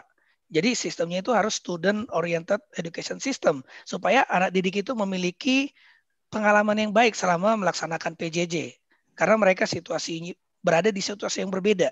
Ada anak didik yang memiliki satu laptop, satu handphone, ada yang hanya handphone saja, ada yang tidak punya gadget. Jadi situasinya sangat beragam. Nah, kemudian tadi juga saya lihat bahwasannya eh, sekolah pengudi luhur sudah menyadari bahwasannya generasi anak didiknya sudah berbeda. Mereka adalah generasi digital native yang bisa belajar online, yang selalu critical thinking, yang selalu interaktif dan partisipatif gitu. Kemudian juga mereka social media concern dan mereka juga keen on mobile. Jadi dengan dasar seperti ini maka terciptalah metode pembelajaran baru seperti yang sudah dilakukan tadi collaborative learning. Tentunya di dalam collaborative learning itu hal-hal esensial yang harus diberikan kepada siswa, yaitu contoh membekali mereka dengan skill di abad 21 tetap harus dilakukan, membekali mereka dengan literasi tetap harus dilakukan, membekali mereka dengan kompetensi tetap harus dilakukan, contoh misalnya high, high order thinking skill itu tetap harus dididik ke anak didik kita. Dan yang paling penting satu lagi adalah karakter. Karena mereka berada dengan uh, background yang berbeda-beda. Bagaimana bisa mereka berkolaborasi melaksanakan satu pembelajaran? Nah, mereka harus memiliki karakter yang baik satu sama lain. Sehingga pendidikan saat ini sudah berubah menjadi pendidikan 4.0 di mana si anak didik bukan lagi duduk manis dan mendengarkan ceramah atau materi yang disampaikan oleh guru, tapi berubah mereka menjadi content producer. Mereka menjadi connection maker atau membuat koneksi keluar, bukan hanya sekolah saja. Kemudian guru tidak hanya eh, sorry eh, murid tidak hanya menjadi murid saja mereka malah bisa menjadi guru. Mereka menyiapkan materi dan mereka mengajarkan ke teman-temannya semuanya. Mereka memiliki akses kepada ahli dan guru harus bisa menjadi scholar kepada anak didik tadi. Sehingga Bapak Ibu untuk menjadi guru yang sukses maka gurunya harus beradaptasi. Edukatornya sekarang yang dibutuhkan adalah edukator dengan kompetensi heutagogi bukan pedagogi lagi. Jadi heutagogi di mana guru sebagai konektor dan kreator Nah, bagaimana caranya? Maka guru harus mengembangkan skill. Selalu selalu menjadi guru yang belajar atau teacher for learning. Kemudian yang kedua teacher for collaborator, teacher for curator, teacher as experimenter, teacher as scholar dan juga yang terakhir adalah teacher as technologist. Harus fasih menggunakan teknologi. Tidak perlu ahli bagaimana caranya teknologi itu terjadi, bagaimana misalnya Microsoft tim tadi bisa bekerja nggak perlu. Yang penting bisa menggunakannya dengan baik, memanfaatkan semua fitur dengan maksimal. Nah itu sudah cukup untuk Bapak Ibu guru. Nah sekolah eh, Pangudi Luhur tadi sudah menerapkan salah satu dari meaningful learning karakteristik yaitu menerapkan collaborative learning. Tentunya untuk menerapkan collaborative learning, mereka sudah menerapkan active learning. Jadi active learning di mana student atau siswa di-engage dengan menggunakan teknologi, itu sudah dilakukan. Kemudian collaborative learning di mana siswa menggunakan teknologi dan mereka berkolaborasi satu sama lain. Inilah yang dilakukan oleh uh, sekolah pengudi luhur tadi. Kemudian ada juga constructive learning, kemudian ada juga authentic learning, dan kemudian ada juga goal directed learning. Nah, semuanya ini pasti Bapak Ibu bisa lakukan untuk menghadirkan pendidikan yang bagus atau pendidikan yang cukup menarik di masa ini normal. Tentunya Bapak Ibu membutuhkan teknologi. Teknologi seperti apa yang bisa Bapak Ibu gunakan? Pertama, menggunakan proyektor interaktif atau display interaktif. Kemudian kedua, menggunakan multifunction printer. Ketiga, menggunakan dokumen kamera atau visualizer. Keempat, menggunakan smart device, menggunakan perangkat video conference baik berbasis hardware maupun berbasis cloud. Kemudian menerapkan pembelajaran gamification. Karena pembelajaran gamification akan gampang mengatrek siswa untuk tertarik kepada materi pelajaran tersebut. Dan yang terakhir adalah menerapkan pembelajaran berbasis project dan kolaboratif. Inilah yang sudah diterapkan oleh uh, sekolah pangudi luhur tadi. Nah, Epson sudah mencoba menghadirkan sebuah solusi dan juga sudah diliput oleh berbagai media dan juga sudah disebarkan, ditayangkan ke seluruh uh, daerah Indonesia. Di mana kami mencoba menghadirkan solusi pembelajaran jarak jauh dengan menggunakan interaktif projector. Tentunya teknologi di balik solusi itu adalah teknologi 3LCD. Kenapa? Karena kita melihat bahwasanya teknologi 3LCD adalah teknologi yang terbaik untuk digunakan Bapak Ibu guru maupun anak didik. Contohnya misalnya teknologi 3LCD seperti ini yang di sebelah kiri itu tidak membuang warna. Sedangkan yang di kanan, satu chip DLP itu membuang warna. Itu sebabnya teknologi 3 LCD atau 3 LCD memiliki warna yang cerah, natural, dan juga nyaman di mata. Kemudian yang kedua, tidak ada efek pelangi, tidak ada gelombang warna. Kemudian yang ketiga, hemat uh, konsumsi listrik. Jadi konsumsi listriknya rendah, hemat biaya juga, dan tahan lama juga produknya. Sehingga investasinya hemat untuk sekolah. Nah, apabila Bapak Ibu misalnya menggunakan proyektor melihat gambar yang ada di layar, warnanya tidak sama dengan gambar yang ada di laptop. Kemungkinan besar Bapak Ibu menggunakan teknologi satu chip DLP seperti ini. Nah, kemudian Bapak Ibu juga bisa menentukan ukuran display yang layak atau yang bagus untuk ruangan kelas, di mana kita menyarankan bahwasanya display yang memadai untuk ruangan kelas. Dengan rata-rata ruangan kelas itu sekarang lebarnya sekitar 6 meter, panjang ke belakang itu sekitar 7 atau 8 meter, adalah display dengan 100 inch ukurannya.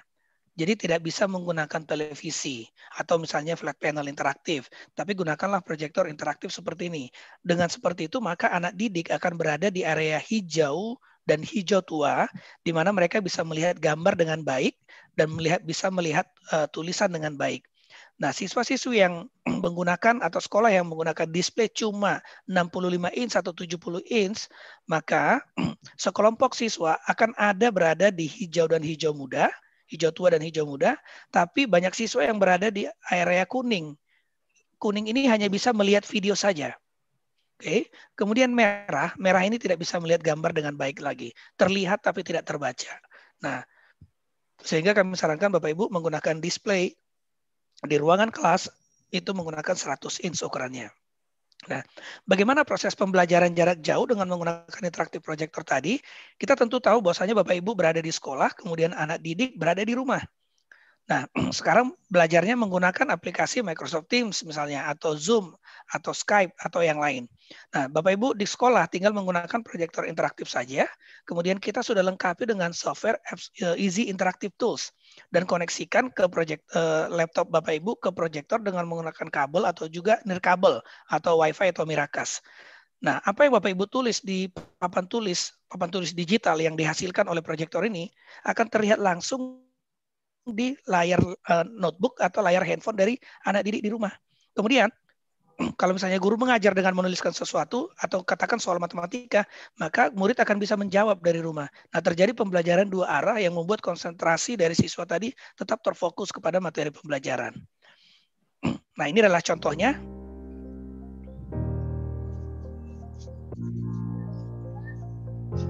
Hai, saya Edwin dan selamat datang di kelas interaktif saya. Proyektor yang digunakan di kelas saya sekarang menggunakan tipe EB1485FI, di mana proyektor interaktif ini dapat menggunakan papan tulis sekolah sebagai layar. Proyektor ini termasuk proyektor dengan jarak tembak yang dekat, namun mampu menghasilkan proyeksi yang sangat lebar. Proyektor ini menggunakan teknologi laser dengan kecerahan cahaya 5000 lumens, sehingga tampilan proyektor dapat terlihat jelas meski kelas memiliki cahaya yang sangat terang. Proyektor EB1485FI ini mampu menghasilkan tampilan layar yang besar, 100 inch dengan rasio 16 banding 9 atau 120 inch dengan rasio 16 banding 6. Lebih besar dari flat panel yang hanya menampilkan 65 inch. Ini adalah tampilan awal ketika kita menyalakan proyektor interaktif EB1485FI. kita dapat memilih sumber yang ingin kita tampilkan. Bisa dari HDMI, VGA, koneksi nirkabel, screen mirroring, HDBaseT, RCA, dan USB.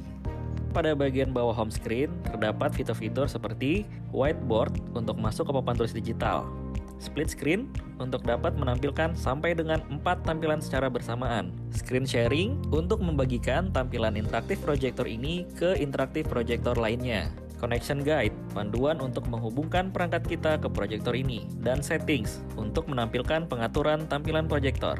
Di kelas interaktif saya kali ini, saya akan menggunakan skenario pembelajaran jarak jauh. Sekarang kita mulai untuk video conference-nya ya. Halo semuanya, apa kabar? Baik, halo. Oke, uh, murid-murid semuanya, hari ini saya akan menjelaskan tentang satu mata pelajaran baru yaitu momen gaya atau torsi. Nah, jadi bisa dilihat uh, Bapak Ibu pendidik semuanya bahwa selain saya mengajar, saya juga bisa langsung melihat aktivitas murid-murid saya langsung di interaktif projector ini.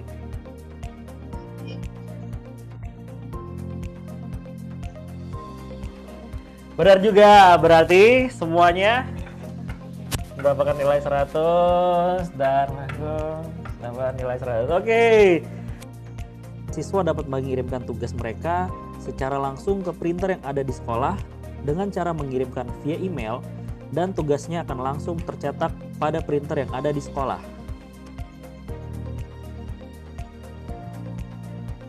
Oke semuanya, uh, terima kasih untuk kasar ini sangat seru sekali.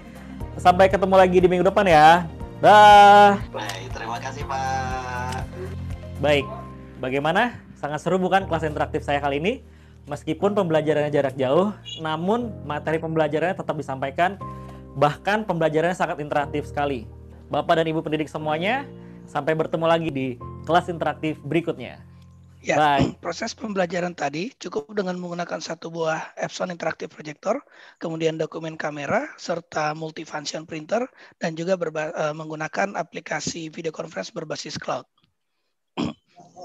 nah, ini adalah contoh sebuah pembelajaran yang dilakukan oleh seorang guru dengan menggunakan Interactive Projector dari kelas, tapi anak didik melihat langsung apa yang ditulis oleh ibu guru tadi. Contoh eh, pelajaran ada pelajaran matematika.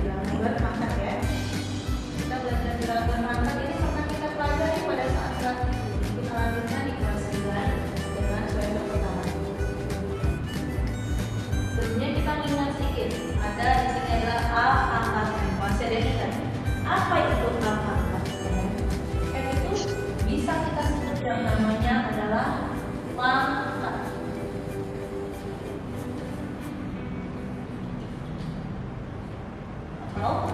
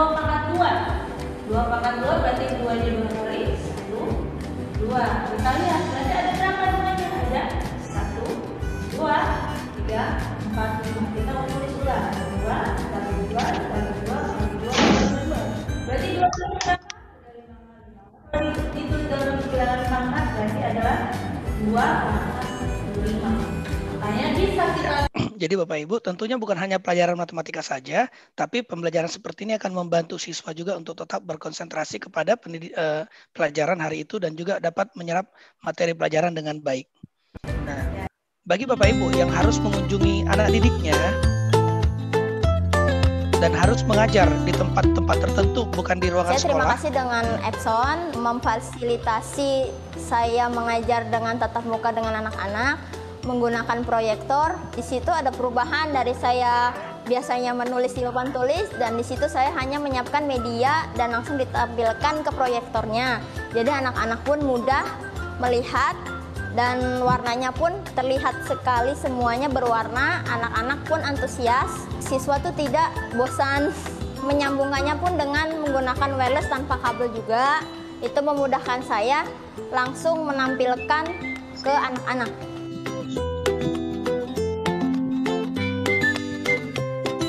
Ya,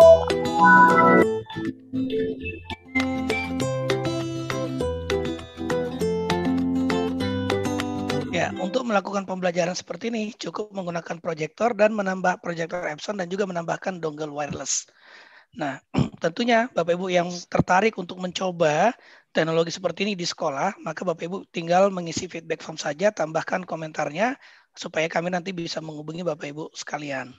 Nah, kemudian kita juga memiliki teknologi printing untuk mencetak materi pelajaran pada saat pembelajaran daring atau online ataupun luring. Tentunya anak didik tidak terlalu terus-terusan harus melihat laptop. Mereka juga harus dibantu dengan materi-materi cetak. Terlebih apabila anak didiknya tidak memiliki gadget yang memadai atau tidak memiliki sinyal yang memadai. Misalkan belajar dari TV atau radio, itu membutuhkan materi pendamping untuk bisa memaksimalkan pembelajaran jarak jauh pada saat ini.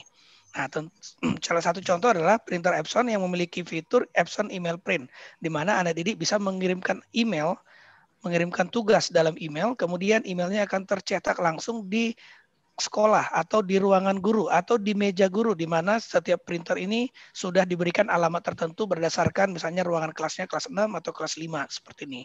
Jadi proses pencetakan seperti ini sangat simpel. Bapak Ibu juga bisa mencetak materi pembelajaran dari rumah, cukup mengirimkan email aja ke ke, eh, ke sekolah, kemudian besoknya baru ambil eh, materi yang sudah dicetak tadi. Sangat simpel. Nah, kami juga menyediakan fasilitas caravan printing. Jadi pada saat eh, situasi tidak PSBB, karavan ini berkeliling saat ini di Jakarta ke berbagai lokasi sesuai dengan permintaan customer.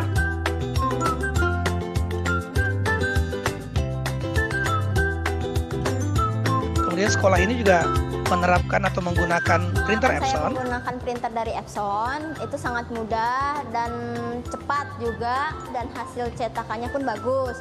Nah, tiba-tiba saya nggak sengaja minum dari luar mengenai kertas tersebut, ternyata tulisan dan gambarnya pun tidak luntur dan ternyata itu menggunakan tinta yang tahan air.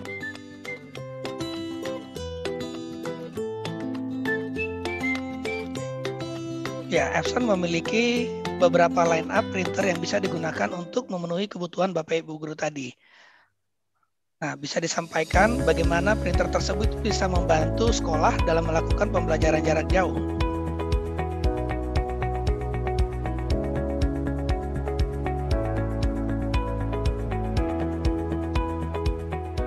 Hai, saya Edwin dan selamat datang di kelas saya.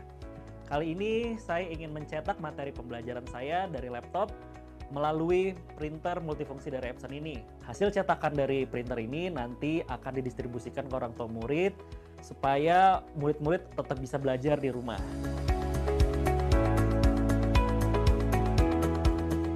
Printer ini juga sangat ramah lingkungan karena tempat tinta yang digunakan merupakan bahan yang mudah didaur ulang.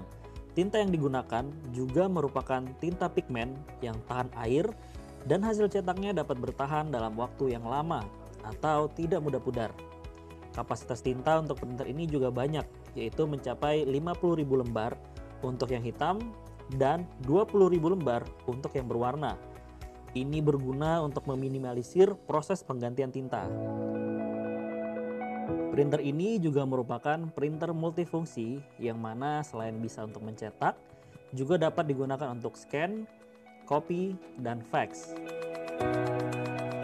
Kemudian, materi pembelajaran ini yang sudah saya cetak tadi bisa kita kirimkan langsung ke email masing-masing murid. Seperti ini caranya. Letakkan dokumen yang ingin di-scan pada ADF. Kemudian pilih menu scan, scan to email, pilih kontak.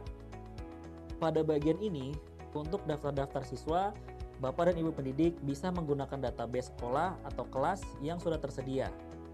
Kemudian, tentukan nama siswa yang ingin kita kirimkan, lalu pilih button scan. Secara otomatis, printer akan menarik dokumen pada ADF dan akan langsung mengirimkan ke email siswa tersebut.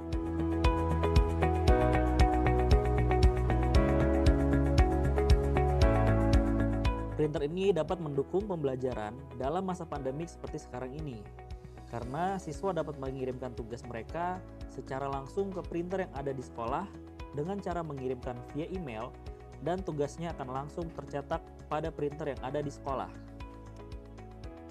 Untuk Bapak dan Ibu pendidik yang ingin mencetak materi pembelajaran yang mungkin ada di handphone, Bapak dan Ibu pendidik juga dapat menggunakan fitur Epson iPrint yaitu dengan cara mengunduh aplikasi Epson iPrint di Play Store dan App Store.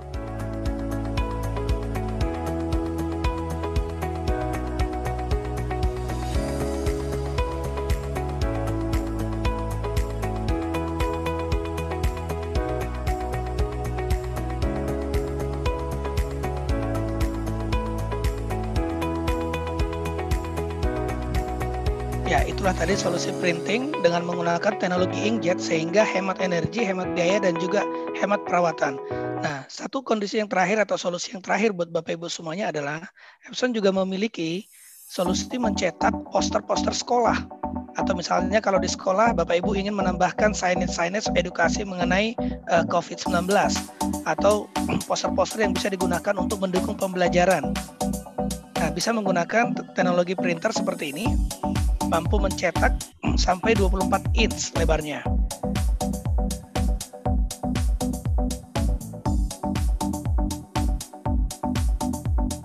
Jadi bisa ditaruh di atas meja, bisa juga menggunakan stand.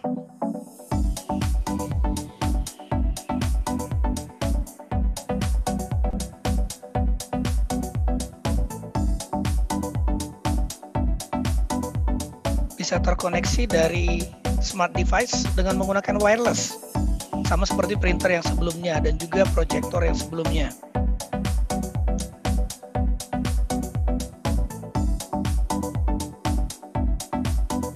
Khususnya bagi sekolah-sekolah yang SMK yang memiliki bidang studi atau jurusan teknik akan membutuhkan solusi seperti ini karena bisa digunakan untuk mencetak gambar-gambar teknik yang dirancang oleh anak-anak SMK tadi.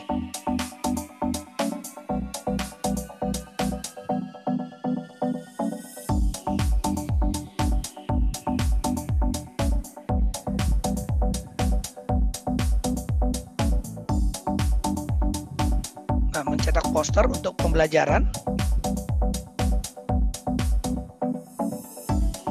Juga bisa membaca data dari scanner, kemudian dari scanner langsung dikirimkan ke printer tadi. Jadi poster yang sudah ada hard copy, kemudian akan di-scan, kemudian akan dicetak dan diperbesar. Nah, tentunya itu akan banyak membantu Bapak Ibu semuanya dalam melakukan melengkapi materi-materi pelajaran untuk anak didik kita di sekolah ataupun pada saat PJJ. Nah, Bapak Ibu, orang yang hebat bisa melahirkan beberapa karya bermutu seperti produk-produk Epson tadi. Tapi guru-guru yang bermutu bisa melahirkan ribuan orang hebat. Jadi Bapak Ibu pesan saya, jadilah guru yang hebat yang beradaptasi, men mencoba dengan cara-cara baru, selalu mengajar, melakukan pembelajaran tanpa melihat medium maupun eh, keterbatasan-keterbatasan lainnya. Semoga apa yang kami sampaikan pada sore hari ini bisa bermanfaat untuk Bapak Ibu semuanya. Dan yang terpenting adalah tetap sehat. Saya kembalikan lagi kepada Pak Indra. Terima kasih. Wah, luar biasa. Terima kasih Pak Zanipar, terima kasih Epson. Ini yang selalu mendukung kita untuk mengadakan kegiatan-kegiatan webinar seperti ini. Pak Zanipar, eh, seperti biasa Epson juga akan memberikan door prize ya. Ya, untuk betul, Pak. para peserta uh, webinar hari ini yaitu printer Epson L120. Betul, Pak? Betul. Untuk, Jadi uh, ya uh, Bapak Ibu tinggal mengisi feedback. Nanti feedbacknya kami kumpulkan, kemudian kami akan undi bagi Bapak Ibu yang beruntung tentunya mendapatkan produk tersebut. Kalau hari ini pun tidak dapat, selalu ikuti acara-acara Pak Indra, acaranya Epson, maka di dalamnya akan ada juga door prize. Seperti itu Pak Indra.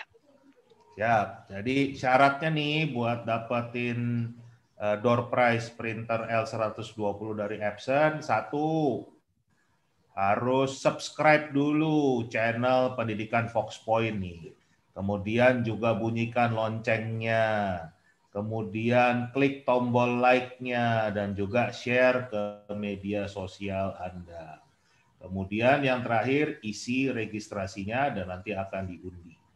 Oke? Jadi itu Bapak Ibu sekalian jangan lupa untuk subscribe, bunyikan lonceng, like dan share uh, YouTube channel ini. Nah, sekarang kita akan kembali ke diskusi kita untuk para guru dari SMA PL Santo Yosef Solo, ini kelihatannya banyak sekali pertanyaan yang jadi sepertinya menarik sekali sharing Bapak Ibu sekalian di hari Sabtu sore ini. Nah, saya akan bacakan beberapa pertanyaan ya. Kita masih punya waktu sekitar 15 menit untuk diskusi Mohon eh, langsung nanti dijawab saja. Eh, yang pertama, pertanyaan dari Dewi Mustikaningsih. Pertanyaannya adalah, apakah ada kendala untuk proyek ini? Misalnya jika ada peserta didik yang tidak mau melaksanakan tugasnya, susah diajak kerjasama, masalah internet, tidak punya gawai, bagaimana mengatasi investasinya. Nah, ini pertanyaan pertama. Pertanyaan kedua datangnya dari Roma Patandean. Pertanyaannya adalah tantangan di sekolah saya adalah bagaimana mengubah pola pikir guru untuk berinovasi sehingga PJJ ini tidak dianggap seperti libur. Dan kemudian pertanyaan ketiga dari Heni Prima. Pertanyaannya, mohon izin tanya, anak-anak mengerjakan tugas proyek ini secara daring full atau bertemu ya, atau diserahkan kepada para siswa sendiri. Nah, silakan untuk rekan-rekan dari SMA PL Santo Yosef untuk bisa menjawab tiga pertanyaan itu. Saya persilahkan. Jangan lupa untuk langsung uh, unmute mic-nya dan dan buka videonya. Silakan Bapak Ibu. Uh, kami akan mencoba menjawab untuk pertanyaan yang pertama Pak Indra dari Ibu Dewi Mustika Ningsih. Siap. Ya, ada tiga pertanyaan.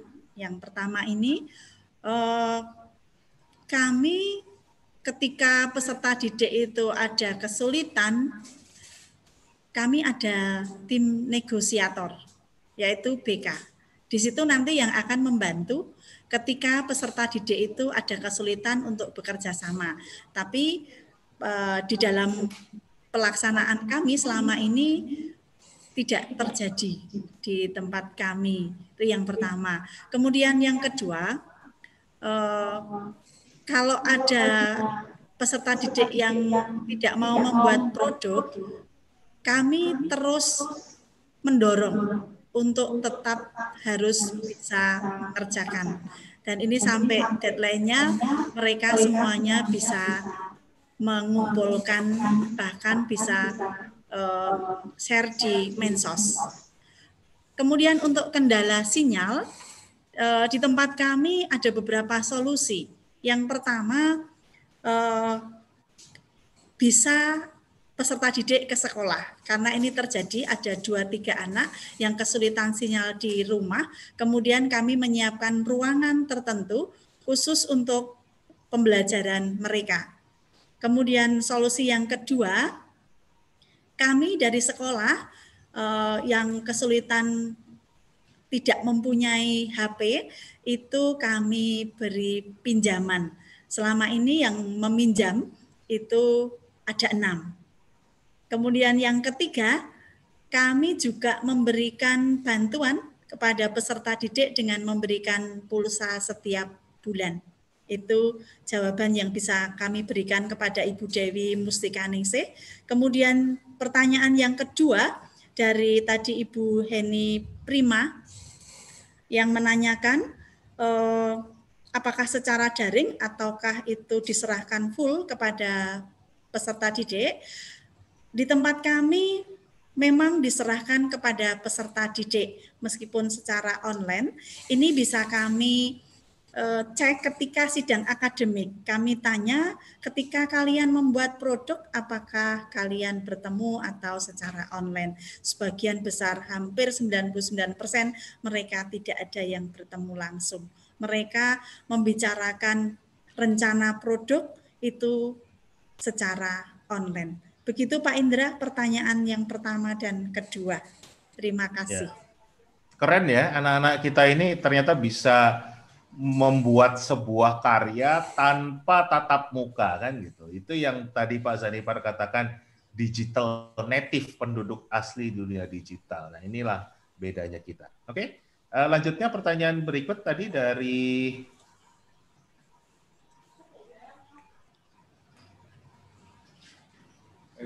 sudah saya menjawab yang dari Bapak atau Ibu nih ya. Roma Patandian. Ya. ya. Tantangan di sekolah saya adalah bagaimana mengubah pola pikir guru untuk mau berinovasi hingga PJJ ini tidak dianggap seperti libur. Kebetulan untuk yayasan kami punya kebijakan tidak ada libur. Kami masuk walaupun waktunya dibatasi itu yang pertama. Yang kedua, kami ada angket di PJJ yang pertama, kita bicarakan di semua guru. Tentang bagaimana dengan keluhan-keluhan anak. Dan saya pribadi banyak ikuti webinar dari Pak Indra dan khususnya teman-teman dari SMA Katolik Santa Maria Malang. Kami terinspirasi dan kami belajar saat itu 10 orang datang ke Malang dan terima satu dengan suster Teresela yang sekarang naik jabatan jadi ketua yayasan. Yang ketiga, ada pelatihan-pelatihan yang terprogram dan rutin sejak kami memiliki Office 365 dibantu tim IT sekolah. Yang keempat, kami diskusi khusus di tim kecil, tim 16, bagaimana kami untuk menghadapi apa ya PJJ saat ini dan ke depan. Dan yang terakhir, guru harus mengubah mindset. Mau nggak mau kita harus berubah. Kalau tidak, kita akan tersingkir dengan sendirinya. Mau nggak mau. Maka yang mau berkembang, ayo saya dukung. Yang tidak didampingi. Satu, dua kali tidak berubah, ya dipersilahkan mengambil sikap sendiri-sendiri. Biasanya ini yang, tapi tempat kami itu sudah mau pensiun juga belajar, walaupun tinggal berapa bulan mau belajar. Yang penting mau bertanya. Ini yang terjadi di tempat kami. Kalau libur, gaji boleh libur enggak? Kami enggak ada libur. Kami saat libur tahun ajaran itu, pelajaran kemarin, guru saya beri tugas untuk memetakan KD-KD yang esensial. Dengan dasarnya angket pertama PJJ kemarin. Itu Pak Indra yang saya sampaikan untuk pertanyaan dari Roma Patandia. Terima kasih. Ya, terima kasih uh, Bruder atas jawabannya. Nah, tiga pertanyaan berikut nih, kita masih punya waktu sekitar 6 menit lagi. Eh, pertama dari Ignatius Sudaryanto. Pertanyaannya adalah kalau kolaborasi lintas peminatan, bagaimana pengambilan nilainya? Misalnya geografi dan biologi. Ini pertanyaan pertama. Pertanyaan kedua, ini dari Pak Alfonsus Harjono.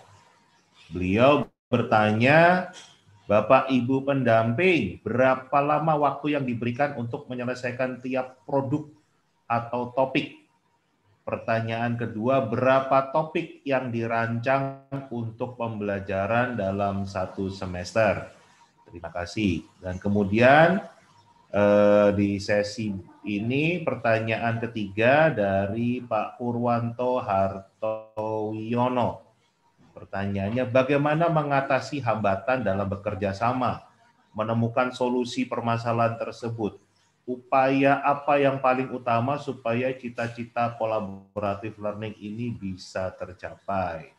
Silakan, Bruder, Bapak Ibu sekalian yang mau menjawab, langsung saja. Terima kasih Pak Indra. Saya akan menjawab lagi pertanyaan dari Pak Alfonsus Herjanto.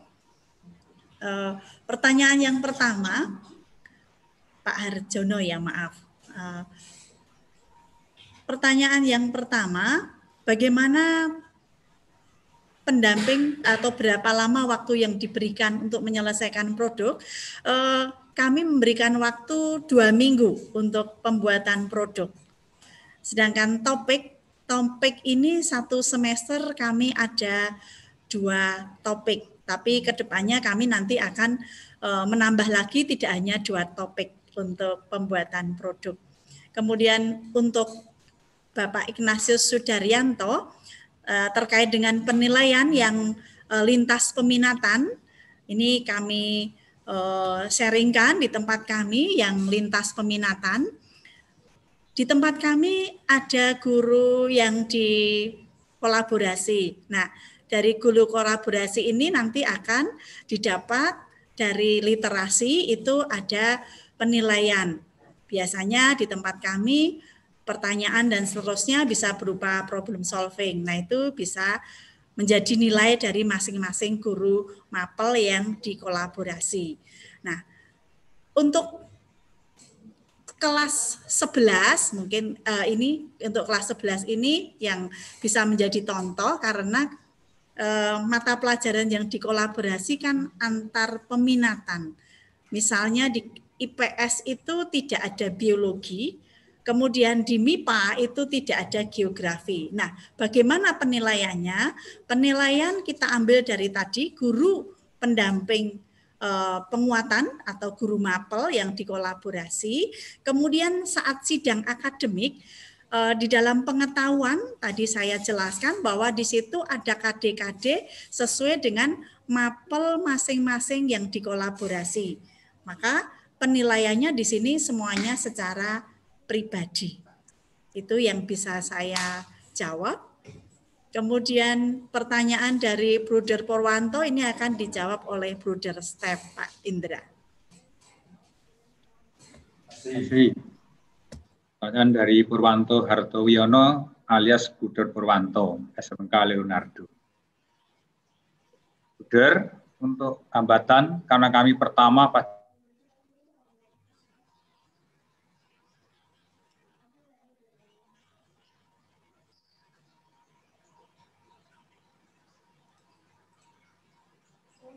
Wah, hilang lagi nih border staff nih.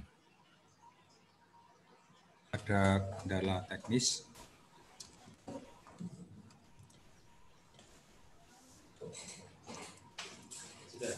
Ya, mau Dar. Oke. Jadi kami menyamakan frekuensi dulu di antara guru. Memang tidak mudah, tapi harus di tanda petik dipaksakan untuk menyamakan frekuensi kami punya moto yaitu di panser hati, rendah hati. Saya katakan di awal, yuk kita rendah hati. Mapel-mapel yang saya kolaborasi, mohon dengan kerendahan hati untuk ikhlas di apa ya tahap pertama ini. Kami ya di tim 16 juga apa ya kalau Jawa itu pegandengan kalau bahasa Indonesia apa ya pegandengan bertengkar, ya, bertengkar. Saya pun kayak yang tua kan juga pernah marah-marah di tim itu untuk membalikan jalur yang benar. Itu. Yang dua, mengubah mindset. Ini yang bagi saya berat. Maka di tahap pertama ini belum semua mapel itu dikolaborasi.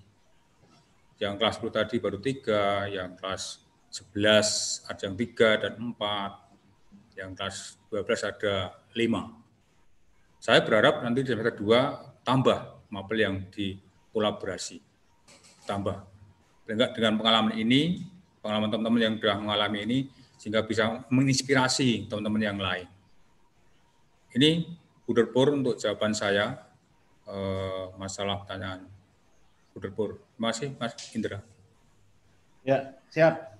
Uh, Bapak Ibu sekalian, sepertinya waktu sudah sudah habis, tapi ini ada ada satu sesi lagi yang saya saya lihat pertanyaannya menarik menarik nih. Jadi kita tambah sedikit ya.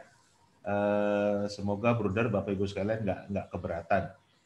Pertanyaan pertama ini di sesi terakhir dari Pak Matius Biusara. Beliau bertanya pada penggunaan metode baru, kendala atau hambatan atau keberatan apa yang dialami teman-teman guru. Bolehkah disharingkan pengalaman kesulitan apa yang dialami oleh teman-teman guru? Terima kasih. Nah ini kan kelihatannya sama yang seperti Bruder sampaikan barusan, ini kan biasanya hal yang baru itu resistensinya muncul dari para guru nih. Mungkin Mohon bisa dijelaskan pengalamannya kok bisa berubah seperti ini kan luar biasa. Kemudian dari Ibu Juliana Rahayu. Bagaimana sekolah mengajak siswanya berpikir kritis sehingga bisa menghasilkan karya seperti itu sedangkan kemampuan siswa kadang bervariatif. Nah, pertanyaan terakhir dari Ibu Katarina Kosma. Pertanyaannya, siapakah yang menentukan kelompok peserta didik?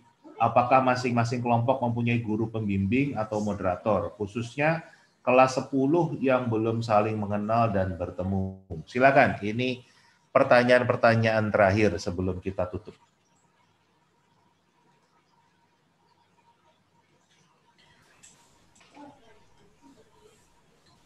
Pak Indra, Silakan. saya akan ya. menjawab lagi ini Pak Indra untuk sharing siap, siap. Uh, yang pertama saya akan menjawab uh, kesulitan apa? Tadi sebelumnya sudah disampaikan oleh Bruder Steph ya. Eh, kesulitan-kesulitan kami di awal karena kami harus mengubah kebiasaan yang mungkin eh, yang nyaman ini ya. Jadi berubah seperti ini. Pertama kami harus menyamakan dulu eh, persepsi.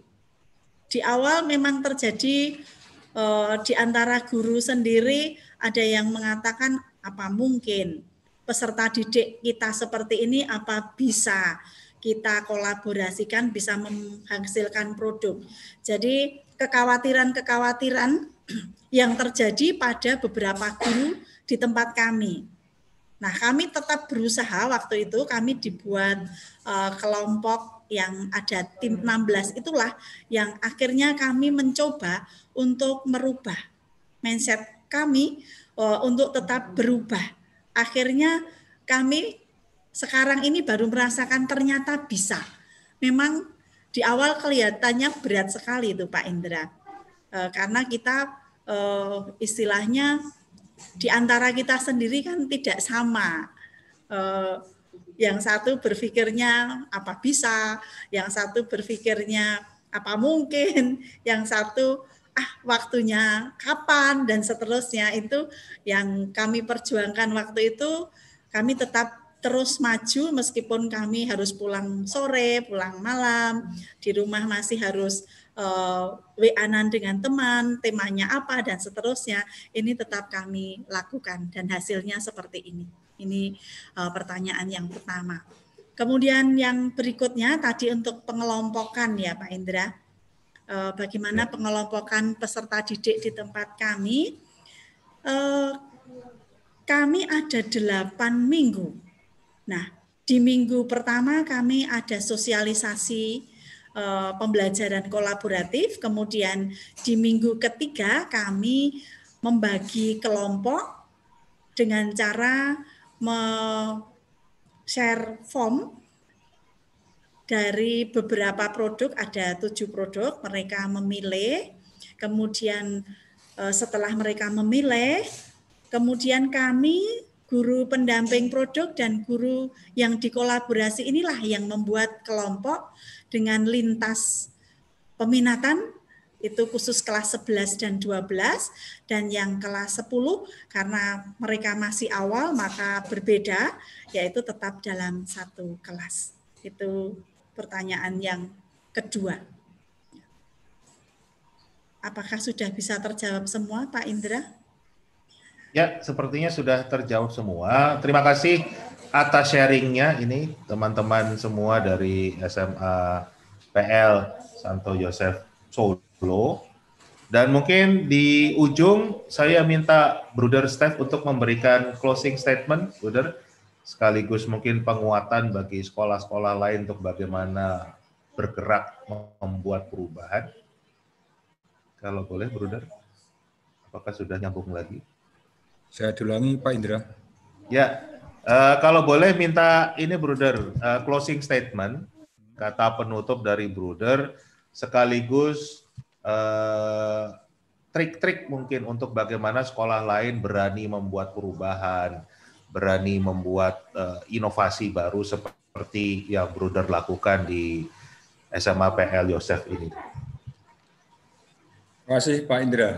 Para saudara yang terkasih, satu perubahan tidak lepas dari tantangan dan hambatan, dan itu kami hadapi. Perubahan juga harus diikuti dengan perubahan mindset setiap individu, baik dari kepala sekolahnya, dari gurunya, dari karyawan, bahkan dari teman-teman pelaksana pun juga harus berubah. Ini tidak seperti membuat mie instan, harus pelan-pelan. Kami empat tahun untuk mengubah mindset ini. Itu pun juga belum bisa 100%. Tapi melihat perubahan ini saya bersyukur bisa. Dengan trik boleh kami bagi bagi unit kerja atau Romo, Suter yang mau mengikuti langkah kami, usahakan guru-guru memetakan dulu kader-kader yang esensial. Terlebih dengan Kementerian sudah mengeluarkan kurikulum yang sederhana. Kita boleh mengubah sendiri sesuai ketentuan tuntutan unit kerja kita. Yang dua buat tim kecil. Tawaran, tadi ada konseptor, ada eksekutor, ada administrator, dan ada negosiator. Tidak harus empat-empatnya, tergantung dari unit kerja masing-masing. Nah itu masing-masing tim tadi bekerja. Tentunya yang terakhir melakukan evaluasi-evaluasi setelah itu dilaksanakan di unit kerja. Dan kami siap untuk membantu teman-teman yang ingin juga melakukan hal yang sama perubahan. Dan terima kasih juga teman-teman saya di SMA Katolik Santa Maria Malang yang telah menginspirasi juga Pak Indra yang juga penyebar virus untuk hal yang baik dan kami menangkap virus itu ke Pak Sanipar yang tak henti-hentinya juga memberikan motivasi dengan apa ya bahan-bahan yang diberikan pada kami. Itu bagian akhir dari kami Pak Indra. Terima kasih. Oke, terima kasih Bruder.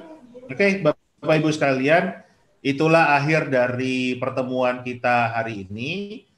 Saya mengucapkan terima kasih kepada Bruder Martin, Bruder Steph, Bapak Ibu guru dari SMA PL Yosef Solo, Eh, Pak Zanipar dan teman-teman dari Epson, juga semua para peserta kegiatan kita di sore hari ini. Mudah-mudahan apa yang dibagikan oleh para guru hebat dari Solo ini bisa menginspirasi kita semua dan tentunya kita bisa memberikan model pembelajaran yang modern yang sesuai dengan tuntutan era ini dan tentunya bisa mendorong anak-anak kita menghadapi tantangan era industri 4.0.